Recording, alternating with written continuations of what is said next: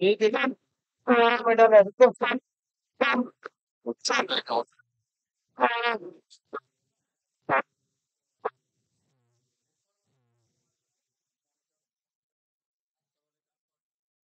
तो नहीं आ रहा लाइव में नहीं आ रहा है पूरा आ गया ना तो। ठीक है, बोलो इवन मॉनिटर दोनों बारह बार कॉमन चार। ना, जब पीछे अच्छे से करना है। डीले आएगा ना, डीले आएगा।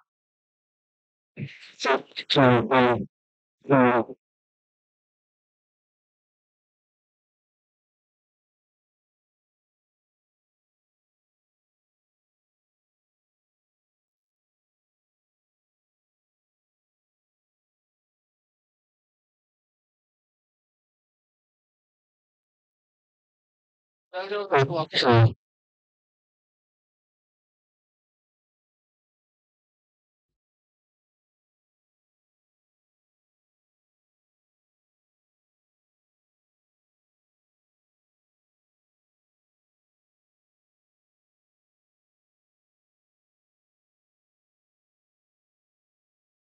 chắc check, chắc check, chắc check, và trong cái hội trong và và trong hội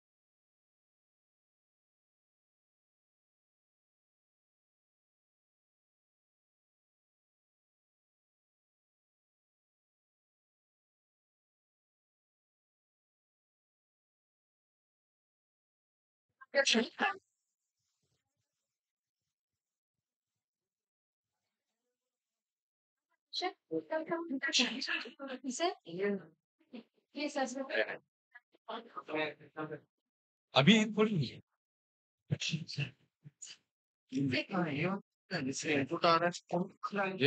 बोलो।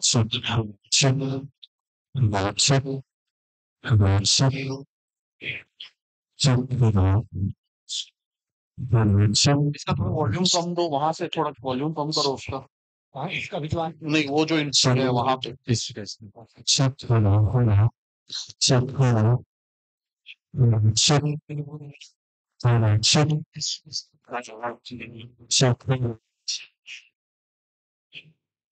आवाज़ ना फट रहा है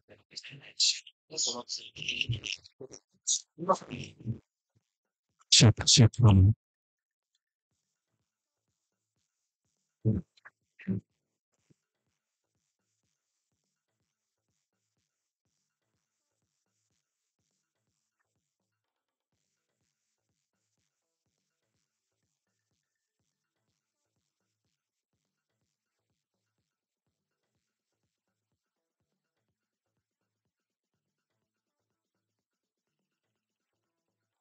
गिरि नन्दिनि नन्दित मेधिनि विश्व विनोदिनि नन्दनुते।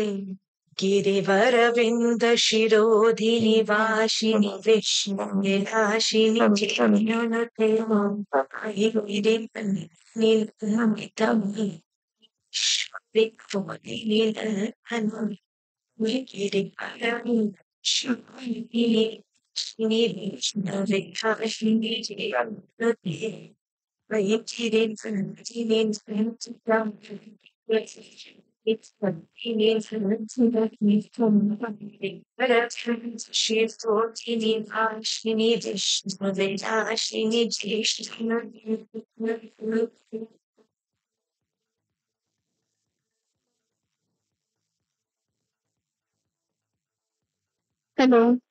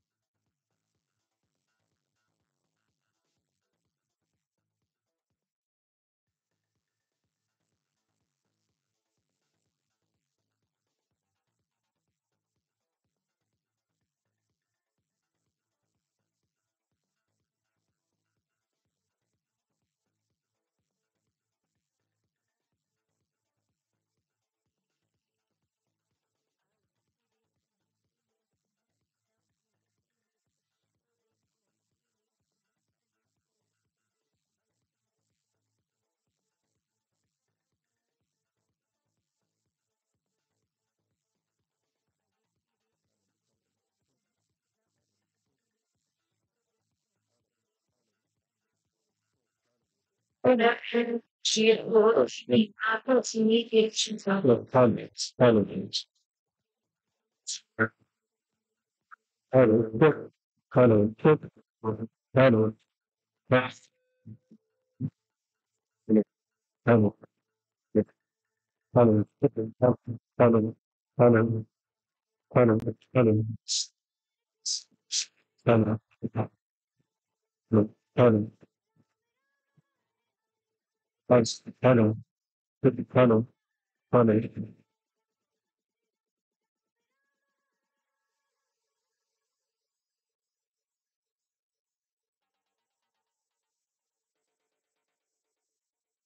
गिरिनन्दिनि नन्दितमेधिनि विश्वविनोदिनि नन्दनुते विनोदिनि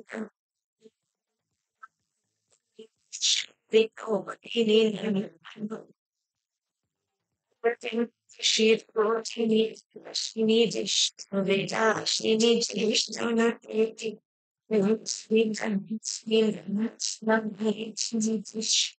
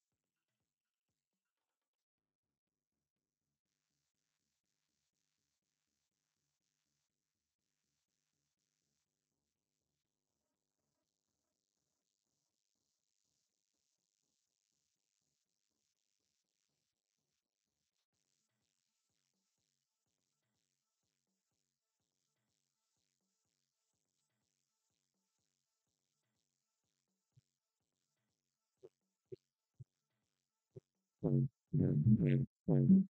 Mm-hmm.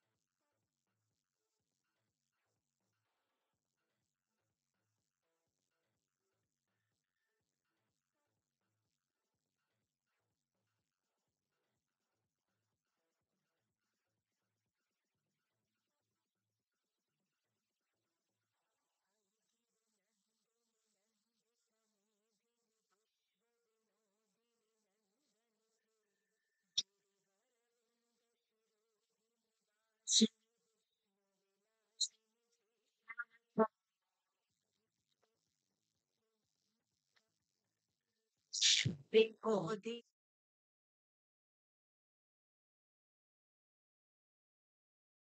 Check, check, check. Hello, check. Hello, check.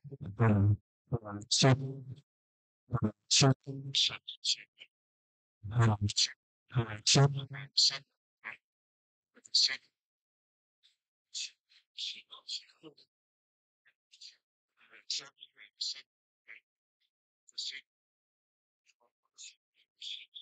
Sound check. Sound check.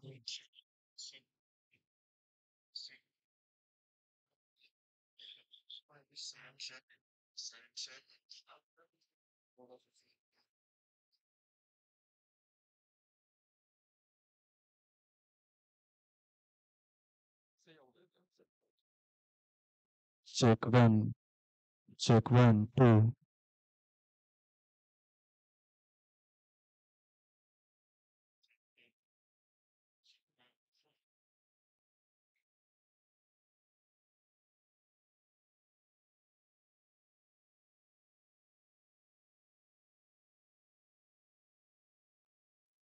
Hello, hello, hello, hello, hello.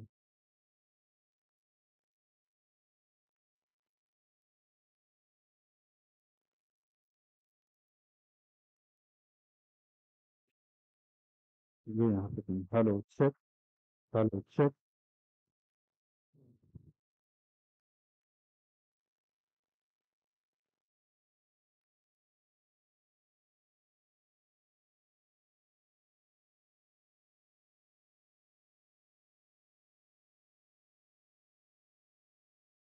Hello, check, hello, check, hello.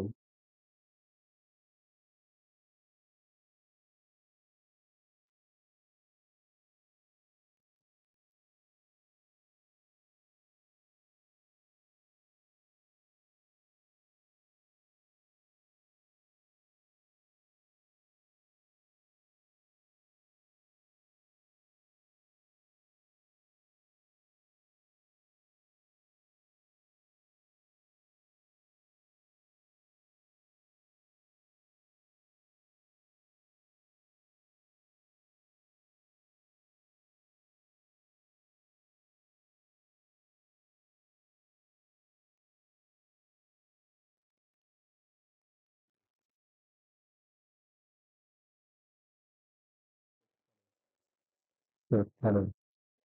Hello.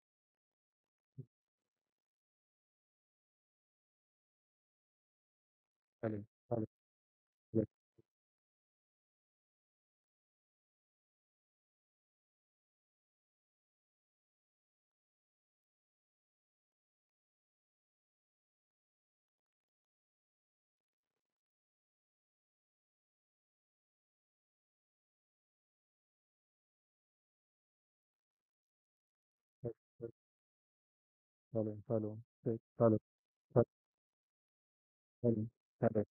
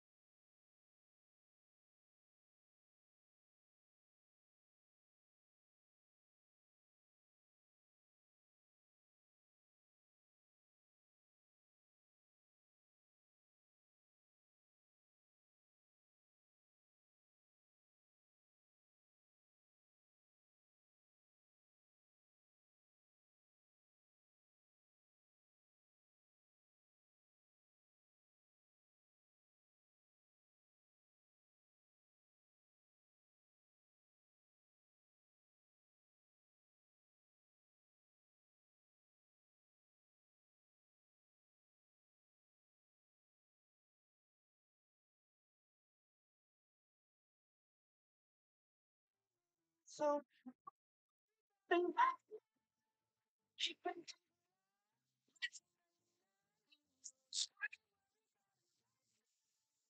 swimming. I ain't worried about it.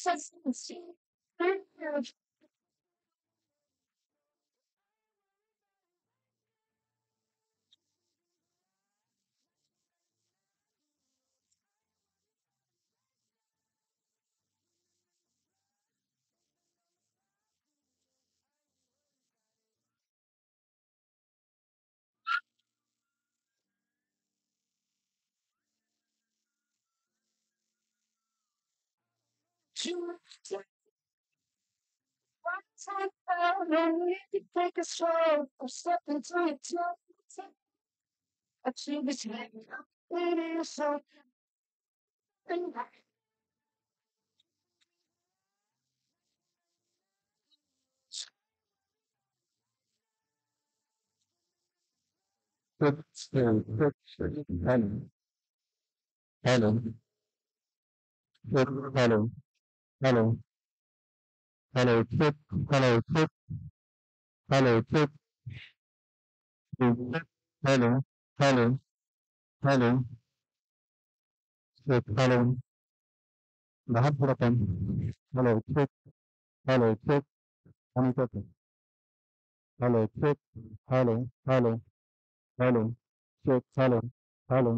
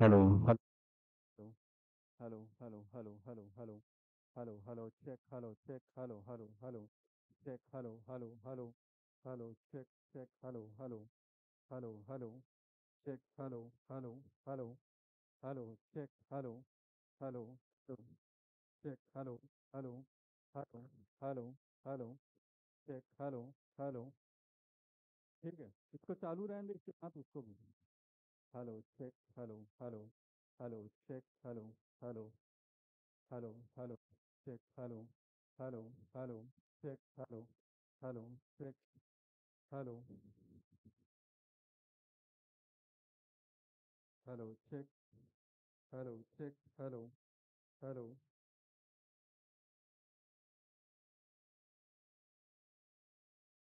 Check, hello, hello, check, hello, hello, hello. check，hello，hello，hello，check，hello，hello，hello，hello, hello, hello, hello, hello, hello, hello, hello.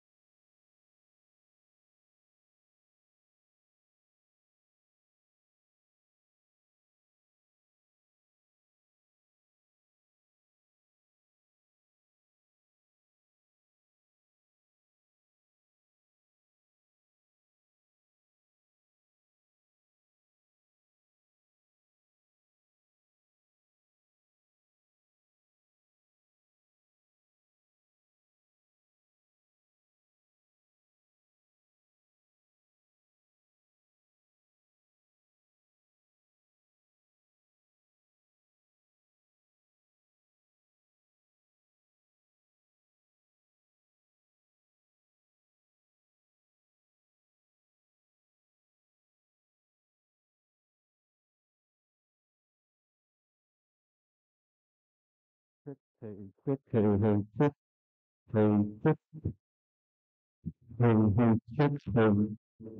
you.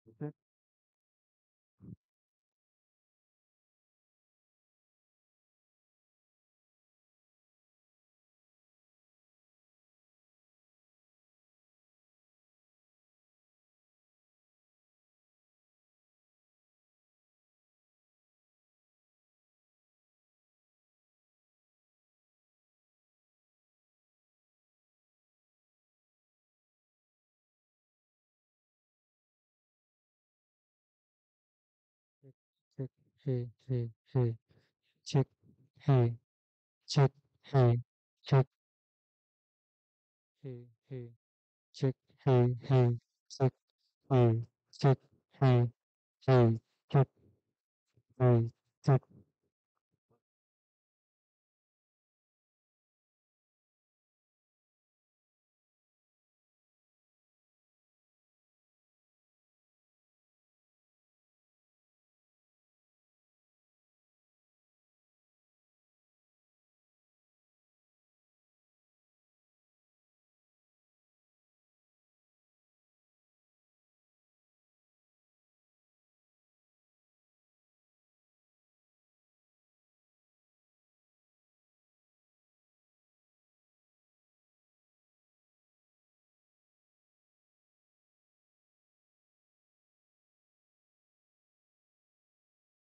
ঠিক, হুম, হুম, ঠিক, ঠিক, হুম, হুম, হুম, ঠিক।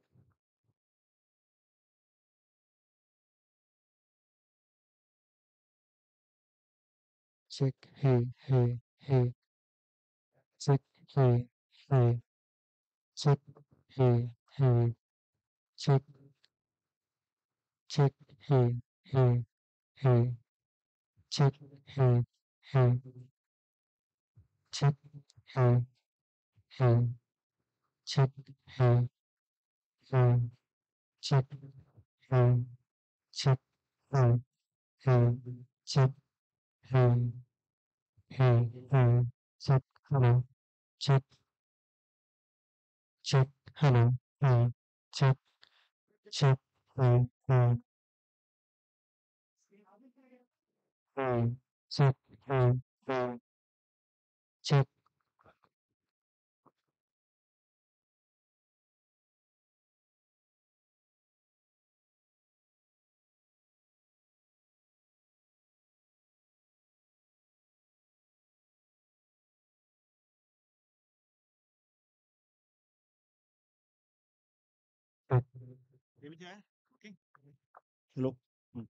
तो sir जब भी वो आना होगा तो हमें दीपक जलाना है। पाँच मिनट तीन मिनट। तो और है ना? ये डॉक्टर को बता लेंगे और यू सर ये आठ का नीला से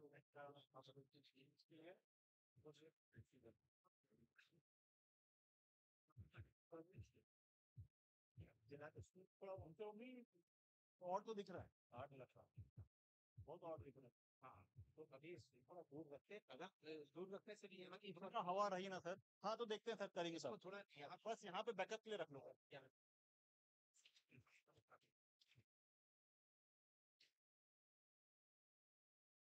होने की बात कर पाएँगे वो आठ लग रहा है थोड़ा सा।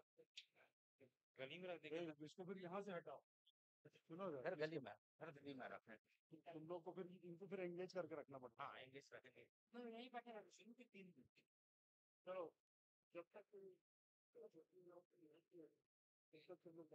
इसको हटा के रखते हैं। यही रहने के आपको क्या और लग ठीक है।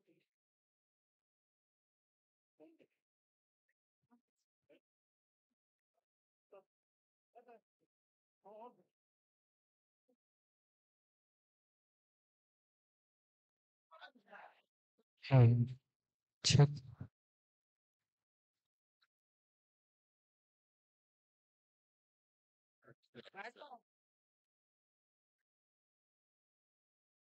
hey, check, hey, hey, check.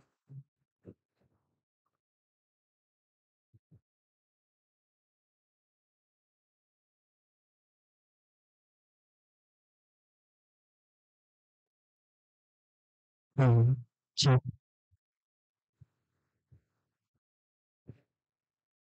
Hello, check, check, hello, hello, check, hello, hello.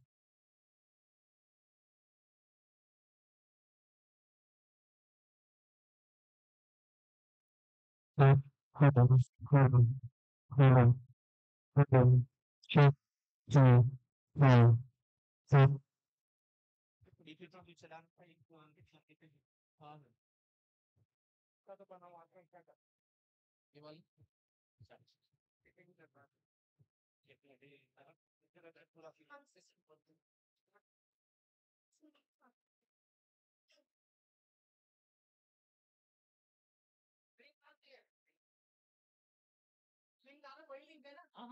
ये डाल दो ना हाँ हाँ अरे क्लाउड में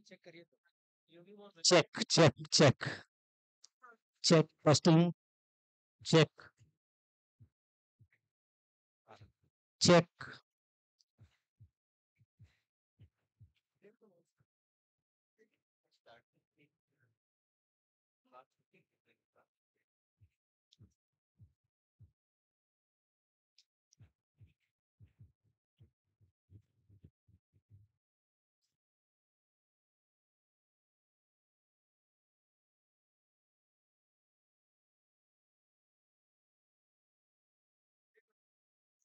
है अद्भुत अविश्वसनीय एक यादगार पल, एक यादगार यात्रा के साथ जुड़ने वाले हैं आप सभी का यहाँ। स्वागत है, अभिनंदन है। सभी से अनुरोध व्यवस्थित हो जाए। आज के हमारे अतिथि पधार चुके हैं। सभी अपना स्थान ग्रहण करें। कुछ ही पलों में हमारा कार्यक्रम प्रारंभ होगा। वहाँ आपने जिस कॉलेज में एडमिशन लिया है, वैसा है वो कॉलेज आप उसके silver alimony silver jubilee batch के सदस्य होने जा रहे हैं। आपका इस परिसर में स्वागत है, अभिनंदन है।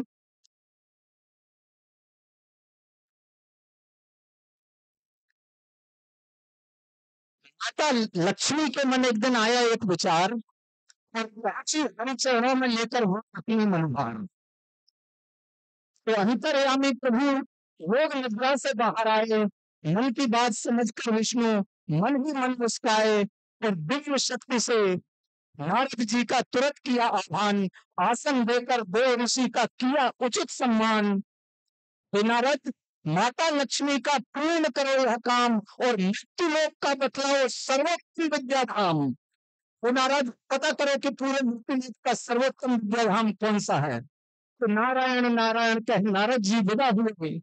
नारायण नारायण कह, नारद जी विदा हुए। पुनः योग निद्रा में वापस नील हुए। नारद जी ने तभी नेट पर चालू कर दी सर्फिंग। दुनिया में कितने विद्यालय पूरी खुली searching? R, C, E, N, T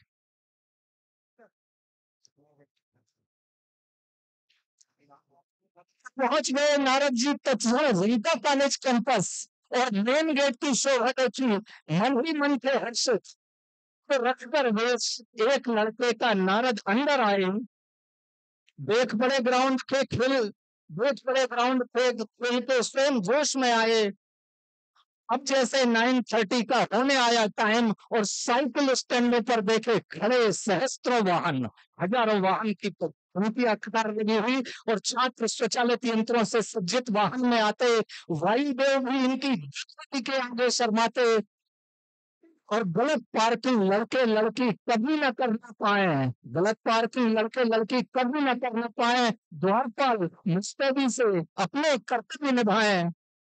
अब जैसे ही नारद जी आगे को कदम बढ़ाए अब एक लाख की शोभा, मन ही मन हर्षाए।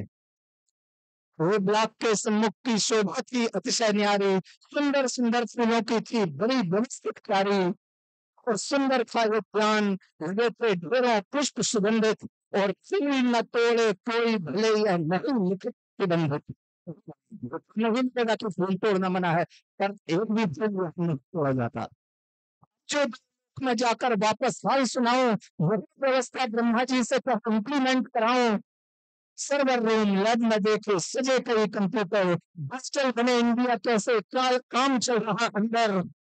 दो ब्लॉक में लगती बैठी कंप्यूटर कक्षाएँ और साथ इलेक्ट्रॉनिक्स आईटी अपना रंग जमाए। टीवी के टावर एंटीना ये न्यूपी की कक्षा रोबोटिक्स ड्रोन के मॉडल यहाँ सभी कुछ अच्छा। सूर्य देव की ऊर्जा से 100 किलोवाट की बिजली बनते देख मुनि नारद की आँखें उसे फैली। तकनीकी शिक्षा का पाया, उसको सुंदर मंदिर, स्वर्णिम शिखर पिरामिड ऊपर श्री यंत्रम अति सुंदर। और कड़ी धूप से छात्र सिविल के कभी नहीं घबराते।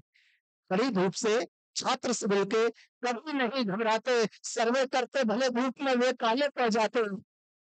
वर्कशॉप में संग सभी को विश्वकर्मा पूजन, होली मिलन मिलन दिवाली, बसंत पंचमी अर्चन। जैसे ही नारद जी आगे को कदम बढ़ाए अद्वैत ही ब्लॉक की शोभा, मन ही मन हर्षाए। तो वर्ष के छात्र यहाँ पर पढ़ते हैं विज्ञान।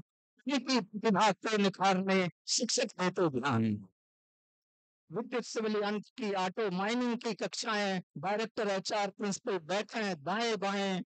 सेंट्रल लैब रिसर्च बनी है, करने अनुसंधान। जनरल शोधार्थी करें प्रकाशित ज्ञान और ट्रेनिंग प्लेसमेंट का चलता सतत यहाँ अभियान। ट्रेनिंग प्लेसमेंट का चलता सतत यहाँ अभियान और रूमी क्लब है वहाँ अनूठा बी ब्लॉक की शान सबके लिए जोरदार तालियों से मैं यहाँ के रूबी क्लब के लिए और ट्रेनिंग प्लेसमेंट के लिए और जोरदार तालियाँ। और भूतल पर संचालित है बिजली वालों की कक्षा और यंत्र की लैब यहाँ की अद्भुत ही गुणवत्ता। यही बना है एक नया सा सभागार अति प्यारा जहाँ बसी ऊर्जा मंत्रों की सिद्ध क्षेत्र नारा फुल साइज़ स्क्रीन और जंबो साइज़ प्रोजेक्टर नौ रत्नों के लिए रखे सिंहासन नौ अति सुंदर। आज्ञा दे तो कुछ दिन और यहाँ रुक जाऊँ। इतना कुछ है यहाँ, एक दिन में कैसे निपटाऊं? दिव्य दृष्टि से नारद जी ने जाँच परख कर पाया कि विशिष्ट यह कोने से चौबीस कैरेट पाया। तो पूरा करके सघन निरीक्षण किया, हरि को मेल। कि अखिल विश्व में यह विद्यालय सचमुच है बेमेल। तो माँ लक्ष्मी ने जैसे ही नारद जी का मैसेज पाया, गीता कॉलेज आने का तत्क्षण प्लान बनाया और सरस्वती के सभी उपासक अक्सर निर्धन रहते बुद्धि क्षेत्र में लक्ष्मी साधक बगदा पीछे रहते हैं।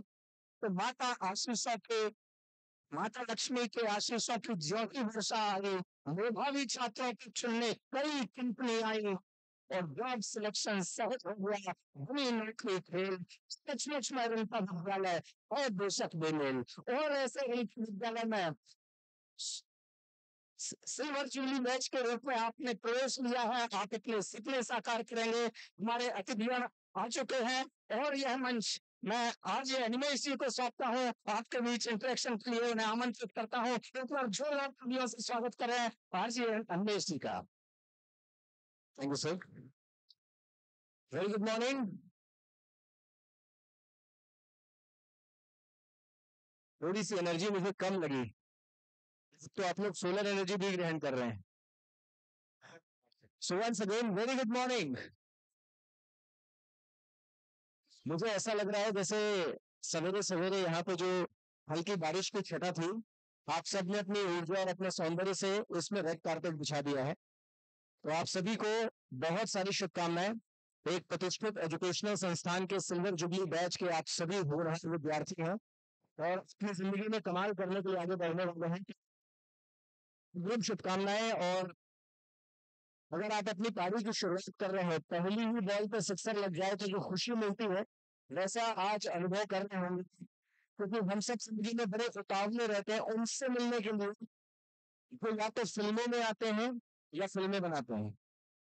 आज रंता के इस कैंपन में, कैंपस में हमें उनसे मिलने का मौका मिल रहा है जिन पर फ़िल्में बनाते हैं। हमारे रियल लाइफ हीरो से मिलने का मौका मिल रहा है। तो आप सब इसके लिए अपनी पूरी तैयारियाँ करके रखें। पूनम वंशुपुर बहुत कमाल की मस्ती। उन्होंने जो किया वो कमाल वो जो कर रहे हैं, वो कमाल और उनके सानिध्य में जितने स्टूडेंट रहे हैं। तो वो अपने आप में कमाल है। बहुत कुछ कमाल का इनको मिलने वाला है। मैं टेलर को 94.3 माइल बनी भास्कर का रेडियो स्टेशन है, जिसमें अगर आप सभी के सात से ग्यारह ट्यून इन करेंगे तो मेरी और आपकी मुलाकात हो जाएगी। उस मुलाकात में और इस मुलाकात में फ़र्क इतना है कि उस मुलाकात में मैं दिखाई नहीं देता हूँ। थोड़ा थोड़ा मिस्टर इंडिया टाइप का रहता है वो आवाज़ बस आती है। लेकिन इस मुलाकात में रूबरू आपसे मिलने का मौका मिला है, जिसके लिए मैं डायरेक्टर सर का, तमाम एच का प्रिंसिपल सर का बहुत शुक्रगुजार हूँ। तो बहुत ही खास मौका है, इतनी युवा ऊर्जा है। उसके बीच में सोनम वांगचुक जी का आना। और उनसे रूबरू होना उनकी बातें सुनना। ये मौका हम सभी को मिलेगा। लेकिन ये फ्रेशर्स इंडक्शन प्रोग्राम है। आप सबको अपने शुरुआती दहलीज में किस तरीके से आगे बढ़ना है और कितना प्रतिष्ठित संस्थान आपके साथ जुड़ा हुआ है, उसकी बानगी भारती सर ने यहाँ पे पूरी बहुत ही रोचक तरीके से बताई और आपको एक परिचय प्राप्त हुआ कि एक प्रतिष्ठित एजुकेशनल इंस्टीट्यूट में आप हैं।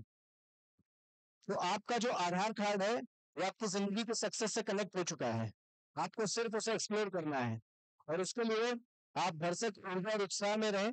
मैं सिर्फ़ आपसे ये गुजारिश करूँगा, यहाँ पर बहुत डेडिकेटेड बहुत कमिटेड बहुत एंड बहुत इंस्पायरिंग फैकल्टीज हैं।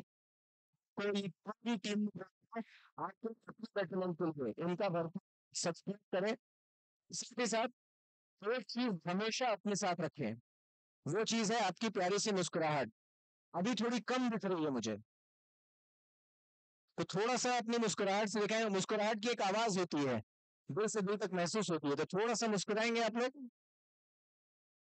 एक दूसरे को देख के नहीं मुस्कुराना है भाई। अपने स्वैग में मुस्कुराना है। ये जो हमको एक नेमत मिली ना हंसने मुस्कुराने की, ये हमारी इकलौती है। वो कहते हैं कि या तो दीवाना हंसे, या वो खुद इसे तौफीक दे। ऊपर वाले से दुआ कर रहे हैं कि या तो दीवाना हंसे, या वो तू जिसे तौफीक दे, वरना दुनिया में आके मुस्कुराता कौन है? तो आप सबके पास ये ताकत है। उस ताकत का भरपूर सदुपयोग कीजिए। एक और मज़ेदार बात है, कभी ट्राई कीजिएगा। तो अगर आप दो लोग आमने सामने बैठे हुए हैं, सामने वाले को देख के बस मुस्कुरा दीजिए, वो कंफ्यूज हो जाएगा। उसको ऐसा लगेगा, मेरे कपड़ों में कुछ ठीक नहीं है क्या? ये हमें देख के क्यों हंस रहा है? हालाँकि अगर ये थोड़ा सा ऐसा हो कि ये हमें देख के क्यों हंस रही हो तो लोग इमेजिनेशन पावर के यूज़ में भी चले जाते हैं। That's a different episode all together लेकिन ये बहुत कमाल की शक्ति है। आप सबने एक माइथोलॉजिकल कैरेक्टर के बारे में सुना होगा सुग्रीव के भाई बाली। सुना है? कितने लोगों ने सुना है? सबने सुना है? अच्छा इसमें एक बड़ा मज़ेदार इंसिडेंट था। पेरेंटिंग बहुत चर्चा में रहती है तो पेरेंट्स ने ये सोचा कि यार बच्चों में संस्कार मिलने चाहिए। तो उन्होंने रामानंद सागर जी के रामायण के पुराने एपिसोड निकाले और घर में चला दिया स्मार्ट टीवी पे। बच्चे देखेंगे, राम, लक्ष्मण जैसा कुछ सीखेंगे, कुछ एपिसोड बीते। बड़ा भाई जो है, उसको नेचर स्कॉलर वो बाथरूम के अंदर चला गया। वो वॉशरूम में था, छोटा भाई वॉशरूम के बाहर जाकर कह रहा है, अरे, दुष्ट बाली, बाहर निकल। सिखाना क्या चाह रहे थे, सीख क्या गए? इसीलिए हमें गुरुओं की ज़रूरत पड़ती है। और हम बस एक दिन ही आगे निकले हैं। कल ही हमने टीचर्स डे सेलिब्रेट किया है। आप यहाँ तक पहुँचे हैं। आपके टीचर्स का इसमें बहुत बड़ा योगदान है। तो एक बार जोरदार तालियाँ सम्मान में अपने तमाम शिक्षकों के आप प्रेषित कीजिए। और आप यहाँ से जहाँ पहुँचेंगे, उसमें यहाँ पर जो टीचर्स मौजूद हैं, उनका योगदान होने वाला है। तो अब और भी ज़्यादा मुकाबले की आप कह लीजिए कि उनके सम्मान की तालियाँ प्रेषित कीजिए, उनके लिए जो अब बढ़ने वाले हैं। और ज़िंदगी में आप पढ़ने वाले हैं, आगे बढ़ने वाले हैं, सिर्फ़ एक चीज़ का ध्यान रखिएगा, आजकल का दौर ऐसा है कि हर ज्ञान देने वाला टीचर नहीं होता है।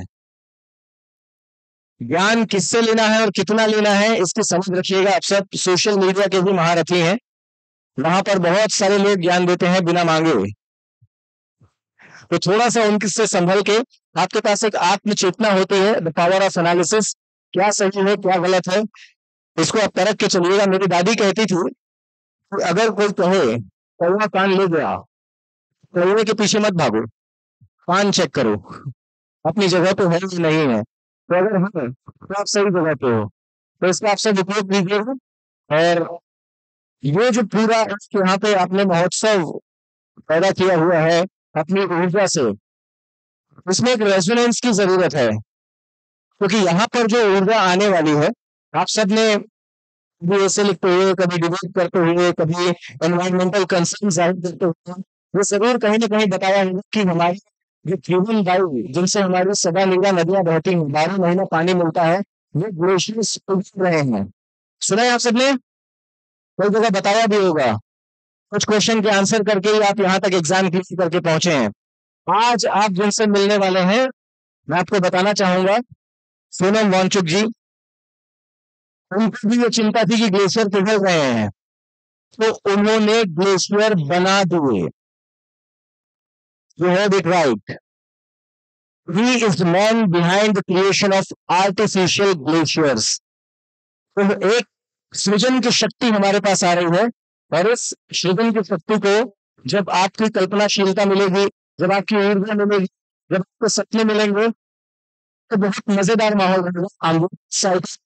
और मैं चाहूँगा कि जब वो वहाँ इस प्रांगण में हैं क्या कि जब ऐसा होना चाहिए कि सोनम वांगचुक जी को एहसास हो कि वो Rungta college of engineering and technology के कैंपस में है, एक ऊर्जा के समंदर में है, और ऊर्जा के दो पैराकॉर्स का आज यहाँ पे मिलन होने वाला है।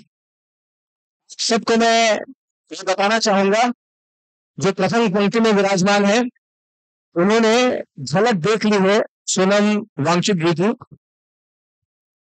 और जो थोड़े से अभी दर्शक दीर्घा में पीछे की तरफ़ है, उन्होंने अंदाज़ा लगाया है कि सामने कुछ बहुत बेहतरीन सा हो। तो मैं इन्हें भी बताना चाहूँगा कि उसका अंदाज़ा एकदम सही है। जिनको सुनने के लिए हमसे बहुत बेताब है। वो यहाँ पर आ चुके हैं। ज़िंदगी की जितनी भी आपकी कश्मकश है जितने भी सवाल है जितने भी मंजिलें आप ढूंढ रहे हैं वो सब अपने रास्ते तक पहुंचेंगी। मैं उस घड़ी के बेहद नज़दीक खड़ा हूँ जहाँ पर उनसे आपकी मुलाकात होने वाली है।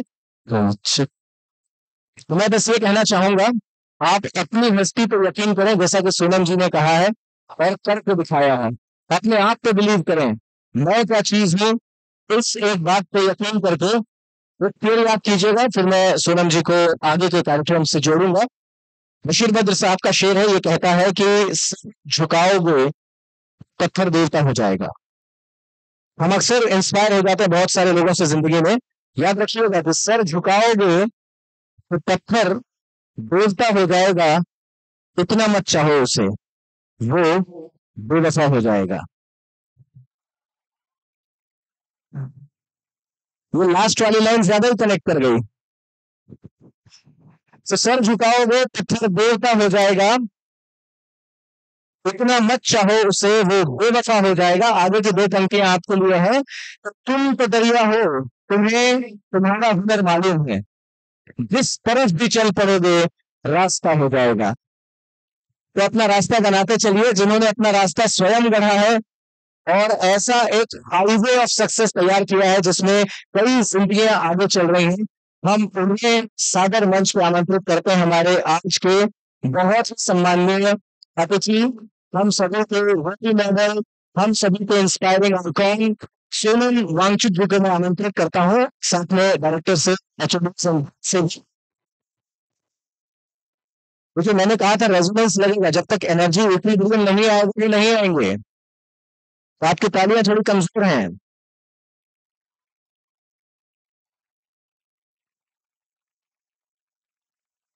पर्याप्त मात्रा में विटामिन डी मिलने के बाद भी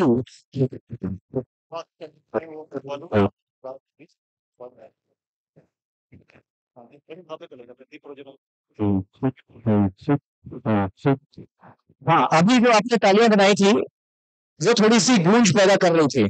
थोड़ा और बढ़ा सकते हैं ऐसा मुझे लगा।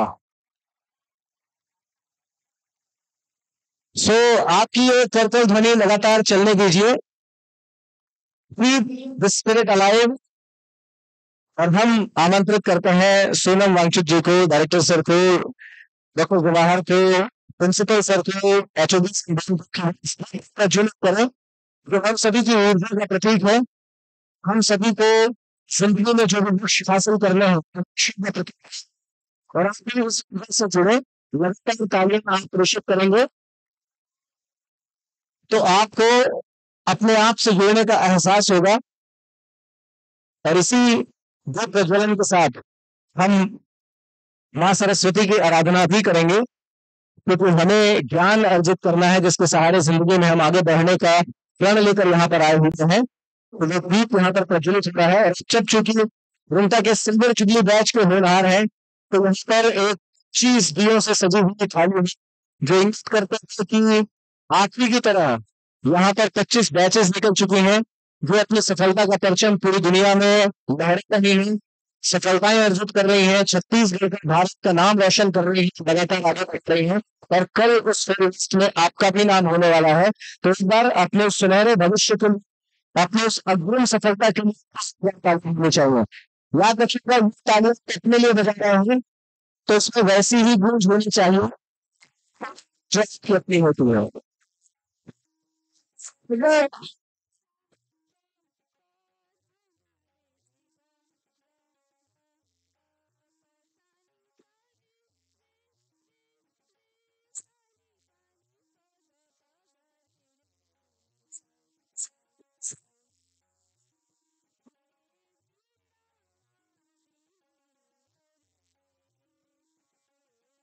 Jack.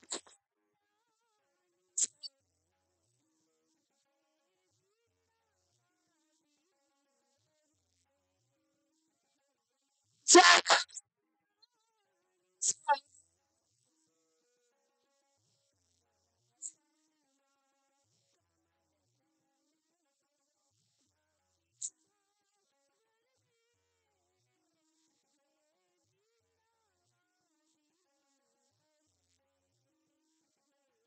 是。是。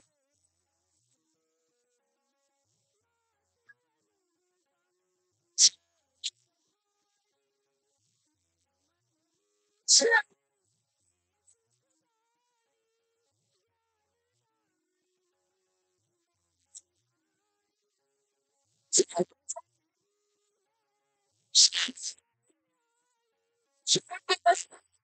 是。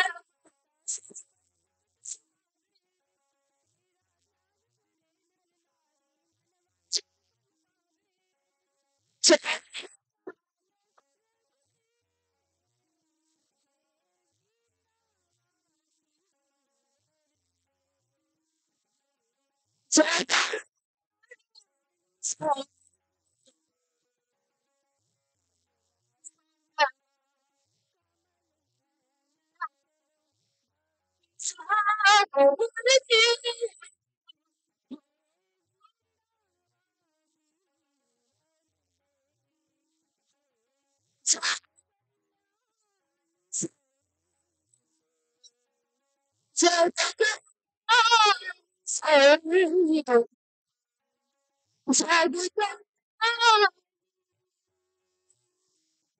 Say,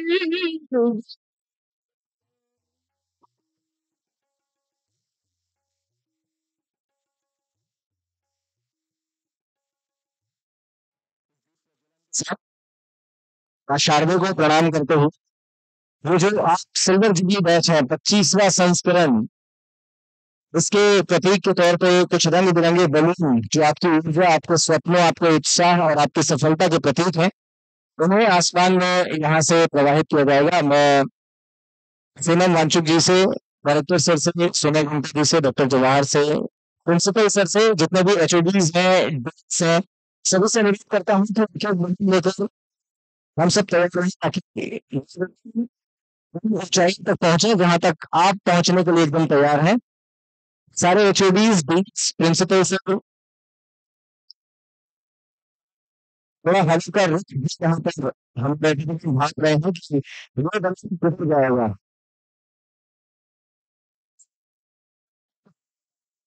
जल्दी करते चालो हाँ भाई One, two, three, okay.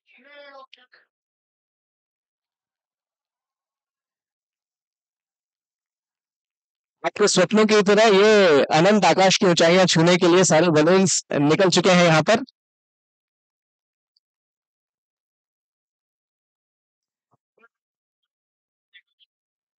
हम डायरेक्टर सर श्री संतोष रुंगटा जी से अनुरोध करते हैं कि सोनम वांचुक जी का हम एक फ्लोरल वेलकम करें हम सभी की तरफ़ से।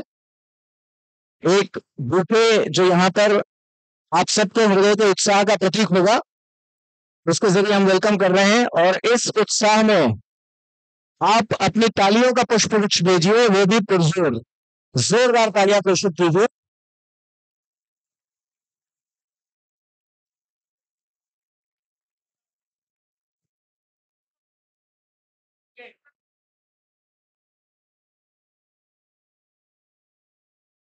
एक बार जो बुके जिन्होंने सब डिग्नेटरीज एक बार फिर से आ जाए, एक बार फॉर्मल क्योंकि ये हम सभी के लिए ऐतिहासिक मौका है। मैं प्रिंसिपल सर से, एचओडी से, सोनल जी से और सभी से अनुरोध करता हूँ कि एक ग्रुप फोटोग्राफ के लिए आप फ़ोटो मंच पर आ जाएँ।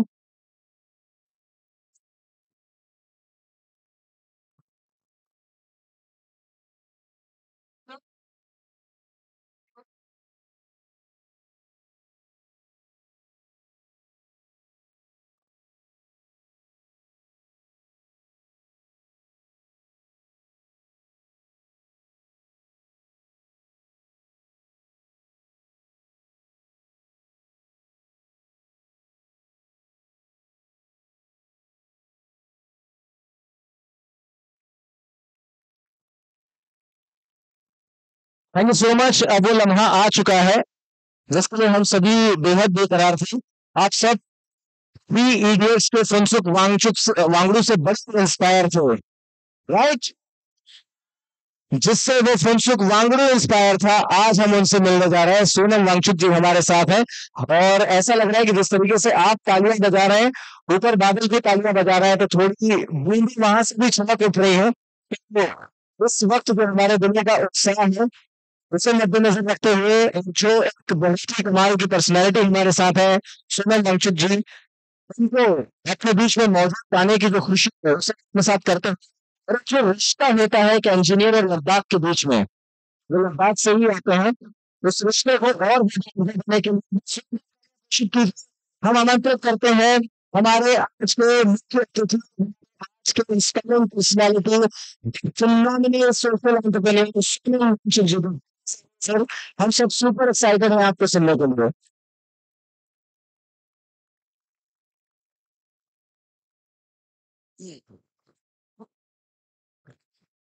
बहुत बहुत धन्यवाद बहुत बहुत बधाई आप सबको रुंगता इंस्टीट्यूशंस के संस्थापक, कार्यकर्ता टीम और सबसे ज़्यादा ज़रूरी जो यहाँ पर विद्यार्थी हैं, आप सबको मैं लद्दाख की तरफ़ से लद्दाख के पहाड़ों से बहुत बहुत अभिनंदन लेके आया हूँ।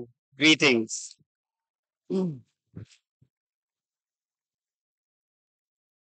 बहुत अच्छा लग रहा है यहाँ पर आप लोग इतने सारे युवाओं से मिलके और अ, मुझे आज आपके 25वें साल या 25वें बैच का जो जश्न है उसमें शरीक होने का, सहभागी होने का अवसर मिला, इसलिए मैं अपने आप को बहुत ही भाग्यशाली मानता हूँ। और ये दिन मुझे पीछे ले जा रहा है अपने इंजीनियरिंग कॉलेज के पहले साल में, जब मैं भी आप लोगों की तरह ही एक इंजीनियरिंग कॉलेज में आया था, और जिसे कहते हैं अंग्रेज़ी में bright eyes and bushy tails के साथ। हाँ बहुत बहुत आँखों में उत्सुकता, दिल में खुशी, उमंग थोड़ी थोड़ी एंजाइटी भी कि कैसा हो ये सफ़र। तो आप सभी को मैं अभिनंदन करना चाहता हूँ, स्वागत करना चाहता हूँ इस फ़ील्ड में, इस शोबे में। इंजीनियरिंग, टेक्नोलॉजी, फार्मेसी जिन शोबों से आप जुड़े हैं, मैं इंजीनियरिंग को एक रोज़गार का साधन नहीं मानता हूँ। इंजीनियर्स, टेक्नोलॉजिस्ट, मूलतः प्रॉब्लम सॉल्वर्स होते हैं, जो समस्याओं का समाधान करते हैं। सबसे पहले आप प्रॉब्लम सॉल्वर्स हैं फिर उससे आपकी रोजी चले तो बहुत अच्छी, बल्कि बहुत अच्छी चले, उसमें कोई हर्ज नहीं। मगर सिर्फ़ रोजी ही चले और समस्याएँ कोई समाधान न हो यह समस्या पहले से भी ज़्यादा और आप पैदा करें तो फिर थोड़ी दुर्भाग्य की बात है। आजकल मैं बहुत बार देखता हूँ, बहुत सारे इंजीनियर्स समस्याएँ सुलझाने से पहले से ज़्यादा पैदा करने में लगे रहते हैं, जिन समस्याओं को फिर सदियाँ लग जाती हैं सुलझाने में। पुष्ट लग जाते हैं सुलझाने में। जैसे आपको मालूम होगा, ये जो जलवायु परिवर्तन है, ग्लोबल वार्मिंग है, ये भी इन्हीं इंजीनियर्स की देन है, जिसे सुलझाने में कई पीढ़ियाँ लग जाएँगी। तो मैं चाहता हूँ कि जो लकीर आप उसके समाधान के तरफ़ हो, ना कि उलझन की तरफ़ आप सुलझन की तरफ़ हो। तो मैं ये चाहूँगा कि अगले चार सालों में, चार साल का आपका कोर्स होगा तो आप बहुत बहुत ज्ञान अर्जित करें, अनुभव अर्जित करें। सबसे ज़्यादा ज़रूरी अनुभव है और निकल पड़े दुनिया की समस्याओं का समाधान करने। दुनिया जब कहें तो सिर्फ़ न्यूयॉर्क और सैन फ्रांसिस्को की समस्याएँ सुलझाने के लिए नहीं, बल्कि मैं तो उन्हें फेलियर मानता हूँ जो भारत छोड़ के सिलिकॉन वैली में समस्याएँ सुलझाने जाते हैं, जहाँ समस्याएँ ज़्यादा हैं भी नहीं। मैं गर्व करूँगा आप पर, अगर आप ज्ञान अर्जित करें जहाँ से भी, वो रायपुर से करें, न्यूयॉर्क से करें, लंदन से करें, बेजिंग से करें मगर वापस आके अपने देश को बेहतर बनाए कल के देश से और अपने राज्य को और सबसे ज़्यादा अपने गाँव को। जिस इंजीनियर का या जिस इंटेलेक्चुअल का अपना गाँव बर्बाद रह जाए, पिछड़ा रह जाए, अंधकार में रह जाए, वो कोई बड़ा विज्ञ नहीं कहा जाएगा।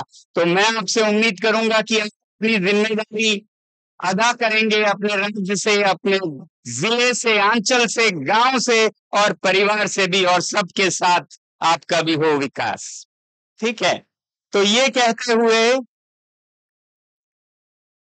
मैं ये देख रहा हूँ आजकल की इंजीनियरिंग की जब बात आती है तो हर कोई इंजीनियर बनना चाहता है। ये भारत की एक बहुत बड़ी आ, क्या कहना बीमारी है कि सबको इंजीनियर बनना है या डॉक्टर बनना है या सिविल सर्विसेज़ करना है। इतने करोड़ लोग तीन ही या चार ही शोबों में कैसे समा सकते हैं आप समझ सकते हैं।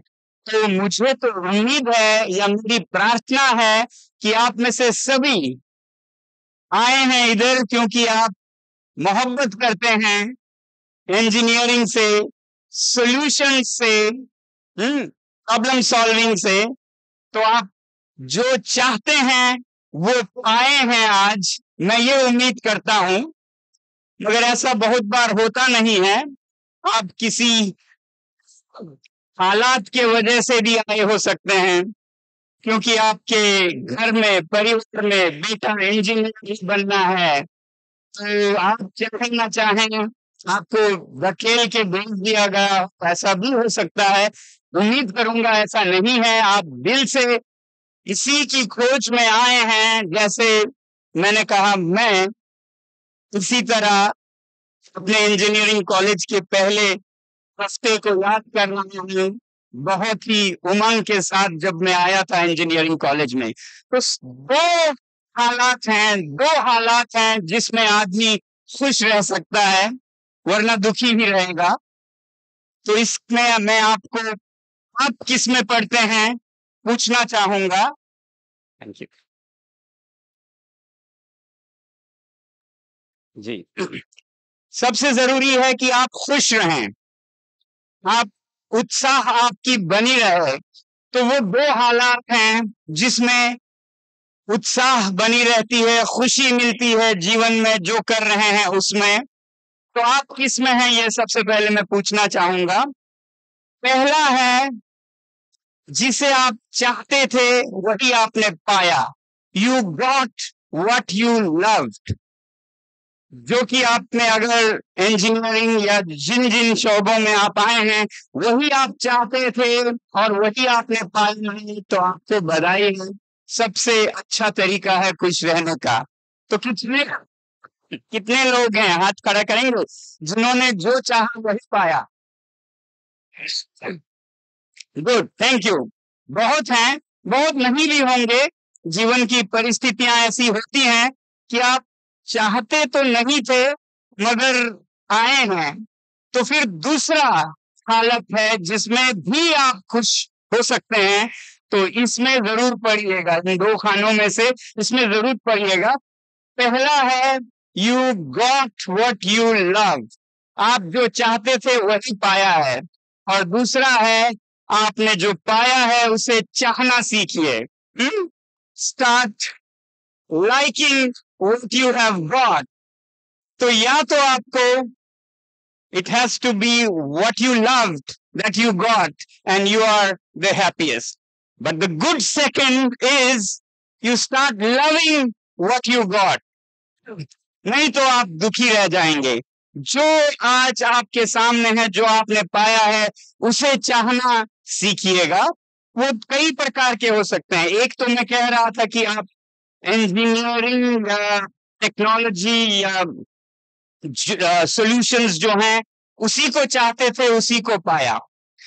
दूसरा ये भी हो सकता है कि उसमें भी इंजीनियरिंग में भी आप वो चाहते थे, उस इंस्टीट्यूशन में चाहते थे, उस देश में चाहते थे, दिल्ली में चाहते थे, फलाना इंजीनियरिंग इंस्टीट्यूट ऑफ़ टेक्नोलॉजी में चाहते थे।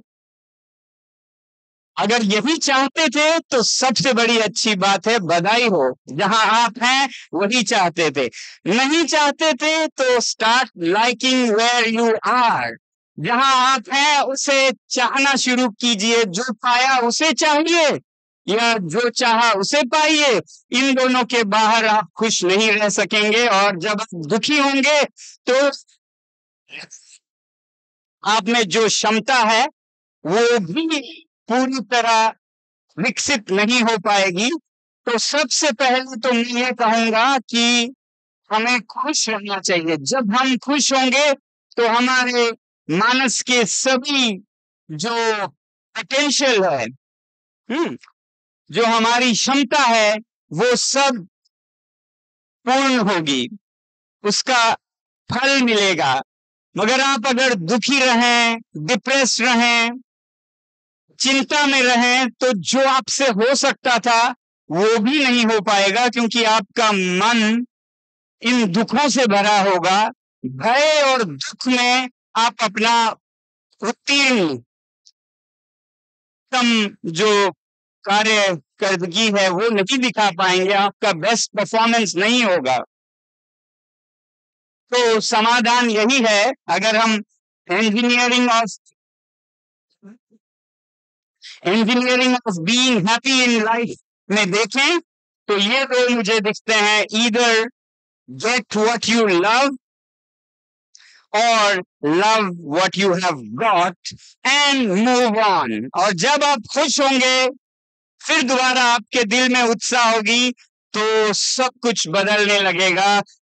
माने नहीं रखता है कि आप कहाँ पर हैं, किधर हैं, आपके अंदर की जो बेहतरीन ऊर्जा है, ताकत है, कुवत है, वो बाहर निकलेगा पूरे दुनिया के बेहतरीन इंजीनियर्स फार्माकोलॉजिस्ट टेक्नोलॉजिस्ट बन सकते हैं। ये मायने नहीं रखता है कि आपके संस्था में क्या है? आपके शिक्षक कैसे हैं? सबसे बड़ी बात है कि आप में वो जोश हो, वो जज्बा हो, वो जुनून हो तब दुनिया बदलने लगता है। तो मैं जब इंजीनियरिंग के लिए आया था तो बिल्कुल लड़ झगड़ के इसी के लिए आया था। बल्कि मैं ये कहूँगा कि ग्यारहवीं कक्षा तक मुझे पता तक नहीं था कि मैं क्या करना चाहता हूँ। फिर ग्यारहवीं कक्षा में मेरी मुलाकात हुई ऑप्टिक्स से। ऑप्टिक्स ऊर्जा प्रकाश के ज्ञान से। और उसमें मुझे light lenses mirrors concave convex इन सबसे मुझे एकदम प्यार हुआ। और मैं पता करने लगा कि मैं इसके बारे में कहा ज़्यादा अध्ययन कर सकता हूँ। तो किसी मेरे अंकल चाचा ने बताया कि आपके लिए मैकेनिकल इंजीनियरिंग है। तो मैं मैकेनिकल इंजीनियरिंग के लिए इंजीनियरिंग की तैयारी करने लग गया। की तरह एक साल बाद इंजीनियरिंग कॉलेज में पहुँचा। बहुत अच्छी बात थी, खुशी की बात थी, क्योंकि पहले साल में तो सभी ब्रांचेस के बच्चे एक साथ पढ़ते थे। हम्म? चाहे वो जैसे ब्रांच में जाने चाहते हो computer sciences electronics mechanical civil सब एक साथ पढ़ते थे। दूसरे साल में, दूसरे साल में अपना अपना ब्रांच शाखा चुनते थे और आप सोच सकते हैं मैं कौन सी शाखा में जाना चाहता था।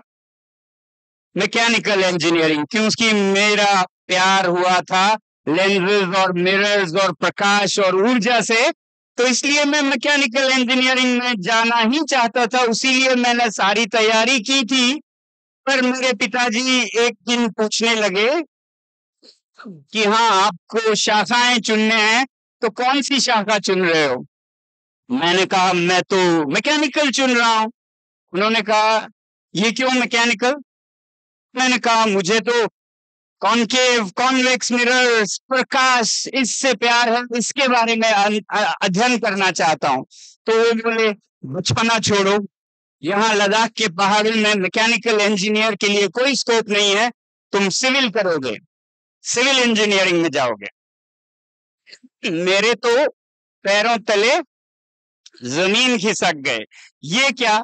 मैंने तो ये स्कोप जो आप बता रहे हैं नौकरी का इसके लिए तो कभी किया नहीं था। मैं तो अपने के लिए आया और ये क्या?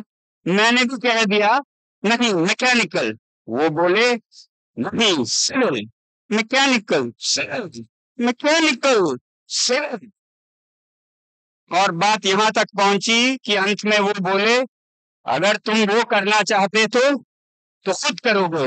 मुझसे कोई उम्मीद नहीं करना।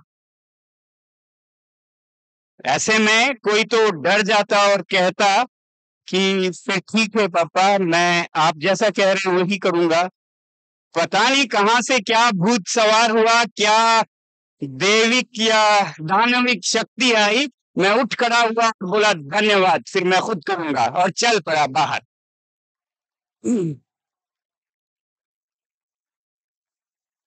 मगर बाहर तक चले जाना बहुत आसान था। उसके बाद सर पकड़ने, पकड़ के सीढ़ियों पर बैठ के सोचने लगा, अब क्या करूँगा? यहाँ तक तो कह दिया, तीन साल इंजीनियरिंग के हैं और खर्चा बहुत है और एक पैसा भी नहीं है जेब में, कैसे करूँगा? तब मैं सोचने लगा, मगर करूँगा ज़रूर, जो दिल में है वही करूँगा। चाहे जो भी हो करूँगा, मजदूरी करूँगा, मगर हाथ देखा तो कुछ खास थे नहीं, दुबला पतला सा था तो मजदूरी भी तो नहीं कर सकता हूँ। फिर क्या करूँगा? फिर सोचा हाँ मुझे तो गणित और विज्ञान में बड़ी रुचि है, और लद्दाख में मेरे जो भाई बहन हैं, उनकी शिक्षा में बड़ी समस्या है, खासकर गणित और विज्ञान में। कितना पीड़ित हैं वो बच्चे वहाँ पर। उत्पीड़न होता है, जब शिक्षक वहाँ ट्यूशन देने लग जाता है, कक्षा में पढ़ाते नहीं है तो मैंने सोचा जाके मैं गणित और विज्ञान बच्चों को पढ़ाऊँगा, उससे जो थोड़ी बहुत आमदनी होगी, उससे मैं अपने, अपना खर्चा लूँगा। तो वापस गया लद्दाख, जब मेरा पूरा कॉलेज औद्योगिक भ्रमण इंडस्ट्रियल टूर पर जा रहे थे, मैंने उनसे अवकाश मांगा, लद्दाख गया और देखिए, जब आप करने निकल पड़े तो पूरी कायनात आपको मदद करता है। तो मैंने सोचा करूँगा तो अच्छे स्तर पे करूँगा। मैं कम पैसे लूँगा बच्चों से, क्योंकि वो शायद खर्च ना उठा पाए, मगर बहुत से बच्चों को पढ़ाऊँगा ताकि मेरी ज़रूरत भी पूरी हो। तो 19 साल का था मैं तब, और सोचा एक कोचिंग सेंटर खोलूँगा। तब कोचिंग सेंटर्स का नहीं था कोई चलन। ट्यूशन सेंटर्स का था, जो कि छोटे छोटे बहुत डार्क एंड बिंजी हुआ करते थे। और मैंने सोचा, बड़े स्तर पे करूँगा। तो जाके एक होटेलियर से मिला मैं होटल के मालिक से। और बोला, मैं आपका ये होटल किराए पे लेना चाहता हूँ अगले कुछ महीनों के लिए। अब उन्हें पता नहीं था कि मेरे जेब में अगले भोजन का भी पैसा नहीं है। अच्छा हुआ उन्हें नहीं पता था और उन्नीस साल का एक बच्चा कह रहा है, मैं आपका होटल किराए पे लूँगा। वो थोड़े सहम से गए और फिर सोचने लगे, शायद कुछ समझता होगा और वैसे भी सर्दियाँ हैं, मेरा होटल तो उतना चलेगा नहीं। तो किसी तरह वो बोले, ले लीजिए चार पाँच महीनों के लिए आप। मैंने कहा, मैं तीन महीने के लिए लूँगा। तो निकल पड़ा। फिर फिर मैंने इश्तेहार दिया, मैं स्टेनोग्राफर्स रखना चाहता हूँ आप चाहें तो ज्वाइन कीजिए। मैं कुछ टीचर्स चाहता हूँ और फिर सारे शहर में इश्तेहार डाले और देखते ही देखते बच्चों की भीड़ होने लगी। दो चार दिनों में तो इतने आने लगे इतने आने लगे कि जो मैं एक साल का खर्चा उठाने के लिए आया था वो उसी दो महीनों में तीनों साल के खर्चा निकल गया।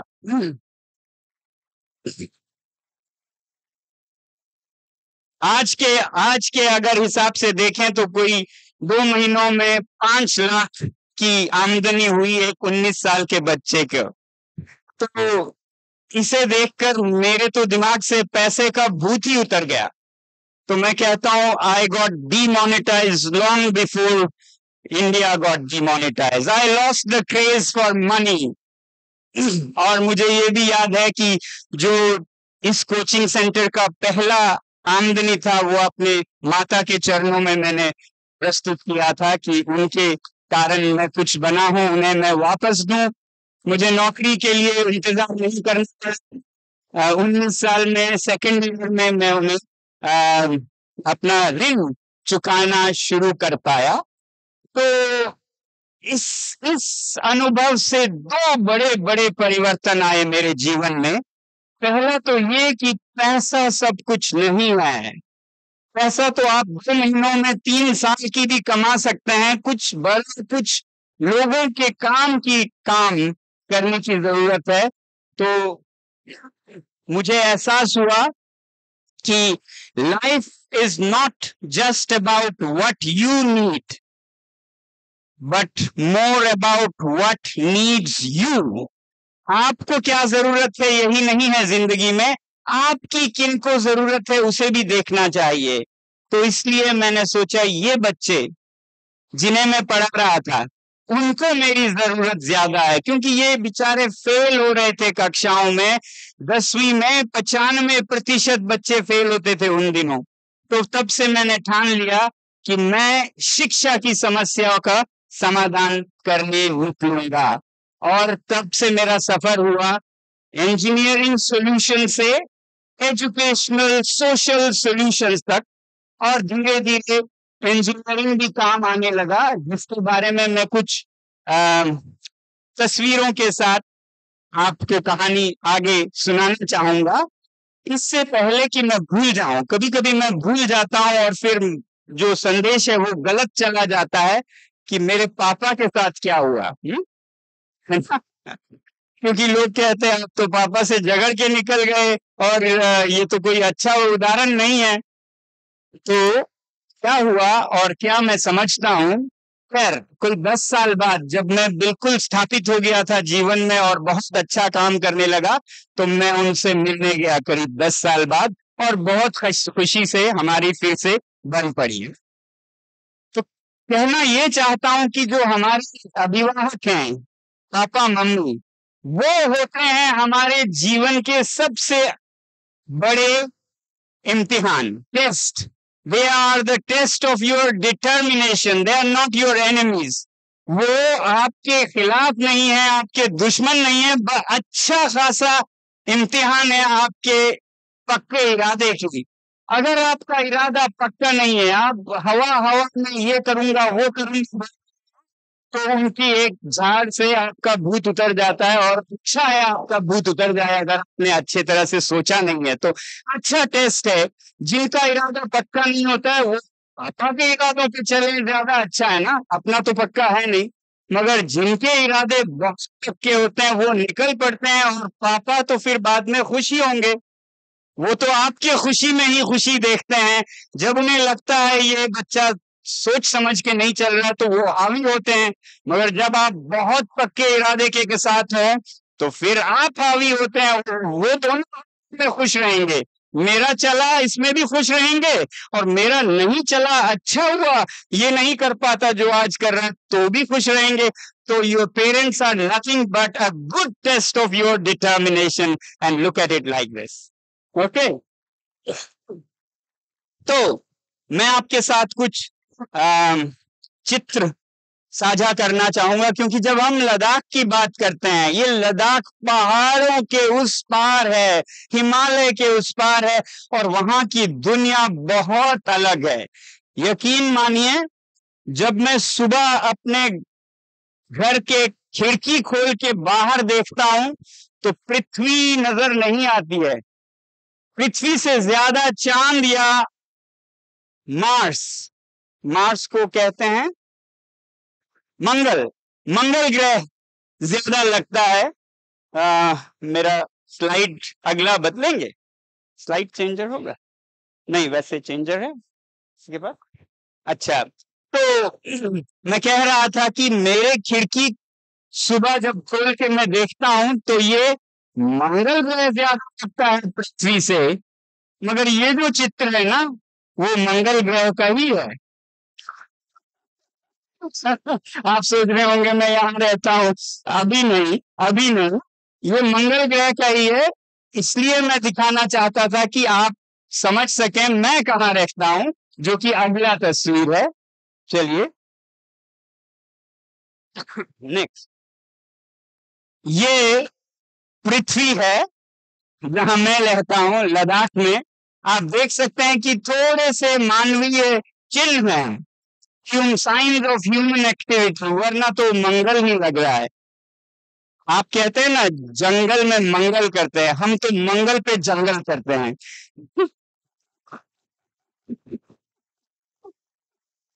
तो आप आगे देखेंगे कैसे?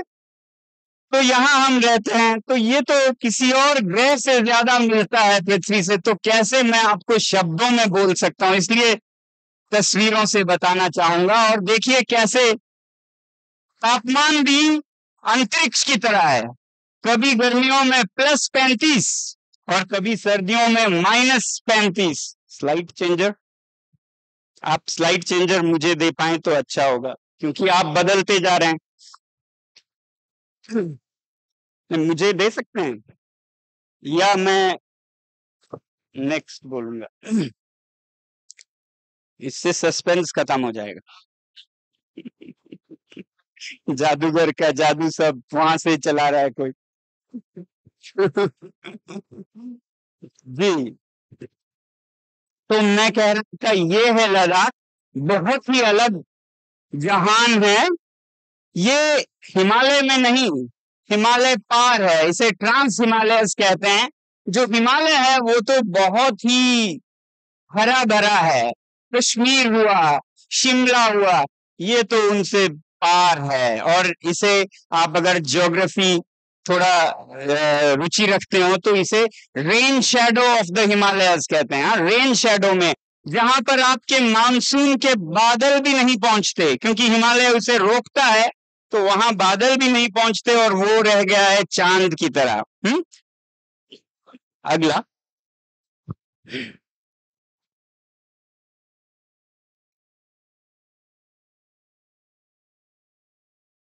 तो चाँद का सा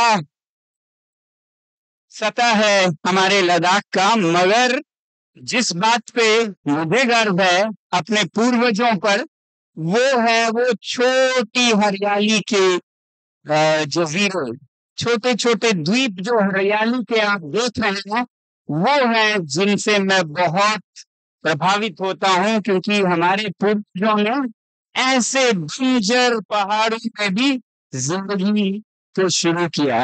आज भी अगर कोई वैज्ञानिकों का दल यहाँ देखता कि 10 सेंटीमीटर चार इंच साल में बारिश होती है, पानी है नहीं, सारे मुसीबत यहाँ पर है। पानी तो छोड़िए, हवा भी नहीं है, बहुत कम है। इसीलिए ऑक्सीजन की कमी होती है जब लोग यहाँ जाते हैं। तो समस्याओं का एक क्या कहेंगे? कैपिटल है, राजधानी है, दुनिया के सारे समस्याओं का। यहाँ पर अकाल होता है तो कभी बाढ़ होती है तो कभी भूचाल होती है, और फिर हर साल एक वो आपदाएँ जो हर साल आती है, वो माइनस पैंतीस की सर्दियाँ, जो कि अपने आप में आपदा है, और दूसरा मैट्रिकुलेशन के रिज़ल्ट, जिसमें कि पचानवे प्रतिशत बच्चे फेल होते हैं। तो ये कैलेमिटीज सारे लद्दाख में आते रहे, आते थे और ये इसलिए चुनौतियों की राजधानी है। और चुनौतियाँ जहाँ तो फिर मानवीय, क्या कहते हैं क्रिएटिविटी ह्यूमन क्रिएटिविटी भी खुद ब खुद आ ही जाता है। तो मैं कह रहा था कि यहाँ अगर कोई वैज्ञानिक दस्ता जाता है तो इसे घोषित करेंगे, अमानवीय रहने के लायक नहीं है। Not fit for human habitation सौभाग्य की बात है कि हमारे पूर्वज ऐसे किसी वैज्ञानिक दस्ते से नहीं मिले तो इसलिए वो यहीं बड़े रहे, अड़े रहे, और उन्होंने ये रचना की, लद्दाख की। जब उन्होंने आकाश से पानी नहीं पाया तो वो खोजने लगे पानी को पहाड़ों में, जहाँ उन्हें, जिसे कहते हैं फॉसिल फॉसिलाइज्ड वाटर सदियों पहले की या हज़ारों साल पहले का पानी, जिसे कि आज हम ग्लेशियर्स कहते हैं, उसको उन्होंने प्रभाव में खुद इसको कनाल्स बनाकर, पहाड़ों को काट कर लाने लगे रेगिस्तान के रेतों पर और फिर चमत्कार होने लगा। जो हरियाली आप देख उसमें हर तरह के फ़सल उगता है wheat barley alpine flesh, green vegetables, fruits होते हैं apricots apples plums peaches grapes and so on तो ये जो क्रिएटिविटी है इनोवेशन है हमारे पूर्वजों का इसे मैं बहुत सराहता हूँ। अब ये अच्छा। नहीं, कोई बात नहीं, अगला कर दीजिए। तो ये है लद्दाख की एक तस्वीर। यहाँ पर लोग सिर्फ़ क्या कहते हैं हम सरवाइव नहीं, बल्कि एक रंग बिरंगा सभ्यता थ्राइव करने लगा with only survive but a colourful civilisation with its own language literature music dance spirituality and a lifestyle in perfect harmony with nature thrive तो ये है लद्दाख की जिसपे मैं गर्व करता हूँ, जहाँ लोग बच नहीं पाते, वहाँ एक रंगीन सभ्यता विकसित होती है। अगला। वरना वरना ऐसा है, सर्दियों का दशा, बर्फ़ है, माइनस पैंतीस की ठंड है, सब कुछ अलग है। आप यहाँ समस्याओं की बात करते हैं, वहाँ तो नल से पानी निकालने के लिए भी ये जुगाड़ करने पड़ रहे हैं। आप देख रहे हैं कि नल जम गया है और बर्फ़ के कारण कोई पानी निकल नहीं रहा है। आग लगाकर निकाला जा रहा है। तो ये है लद्दाख।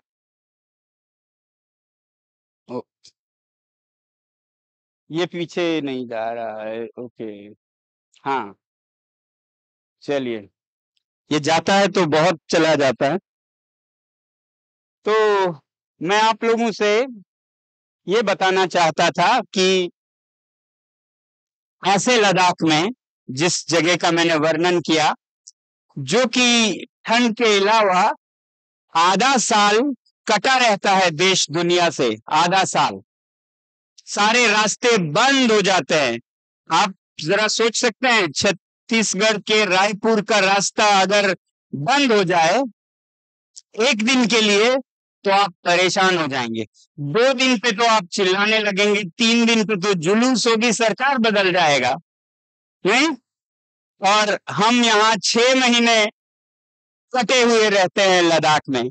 तो इस कटे हुए लद्दाख में एक छोटे से गाँव में मेरा जन्म हुआ था। मैं अपनी ज़िंदगी का सफ़र आपसे थोड़ा बांटू तो। तो ये गाँव इतना छोटा था, इतना छोटा था कि वहाँ स्कूल ही नहीं थे।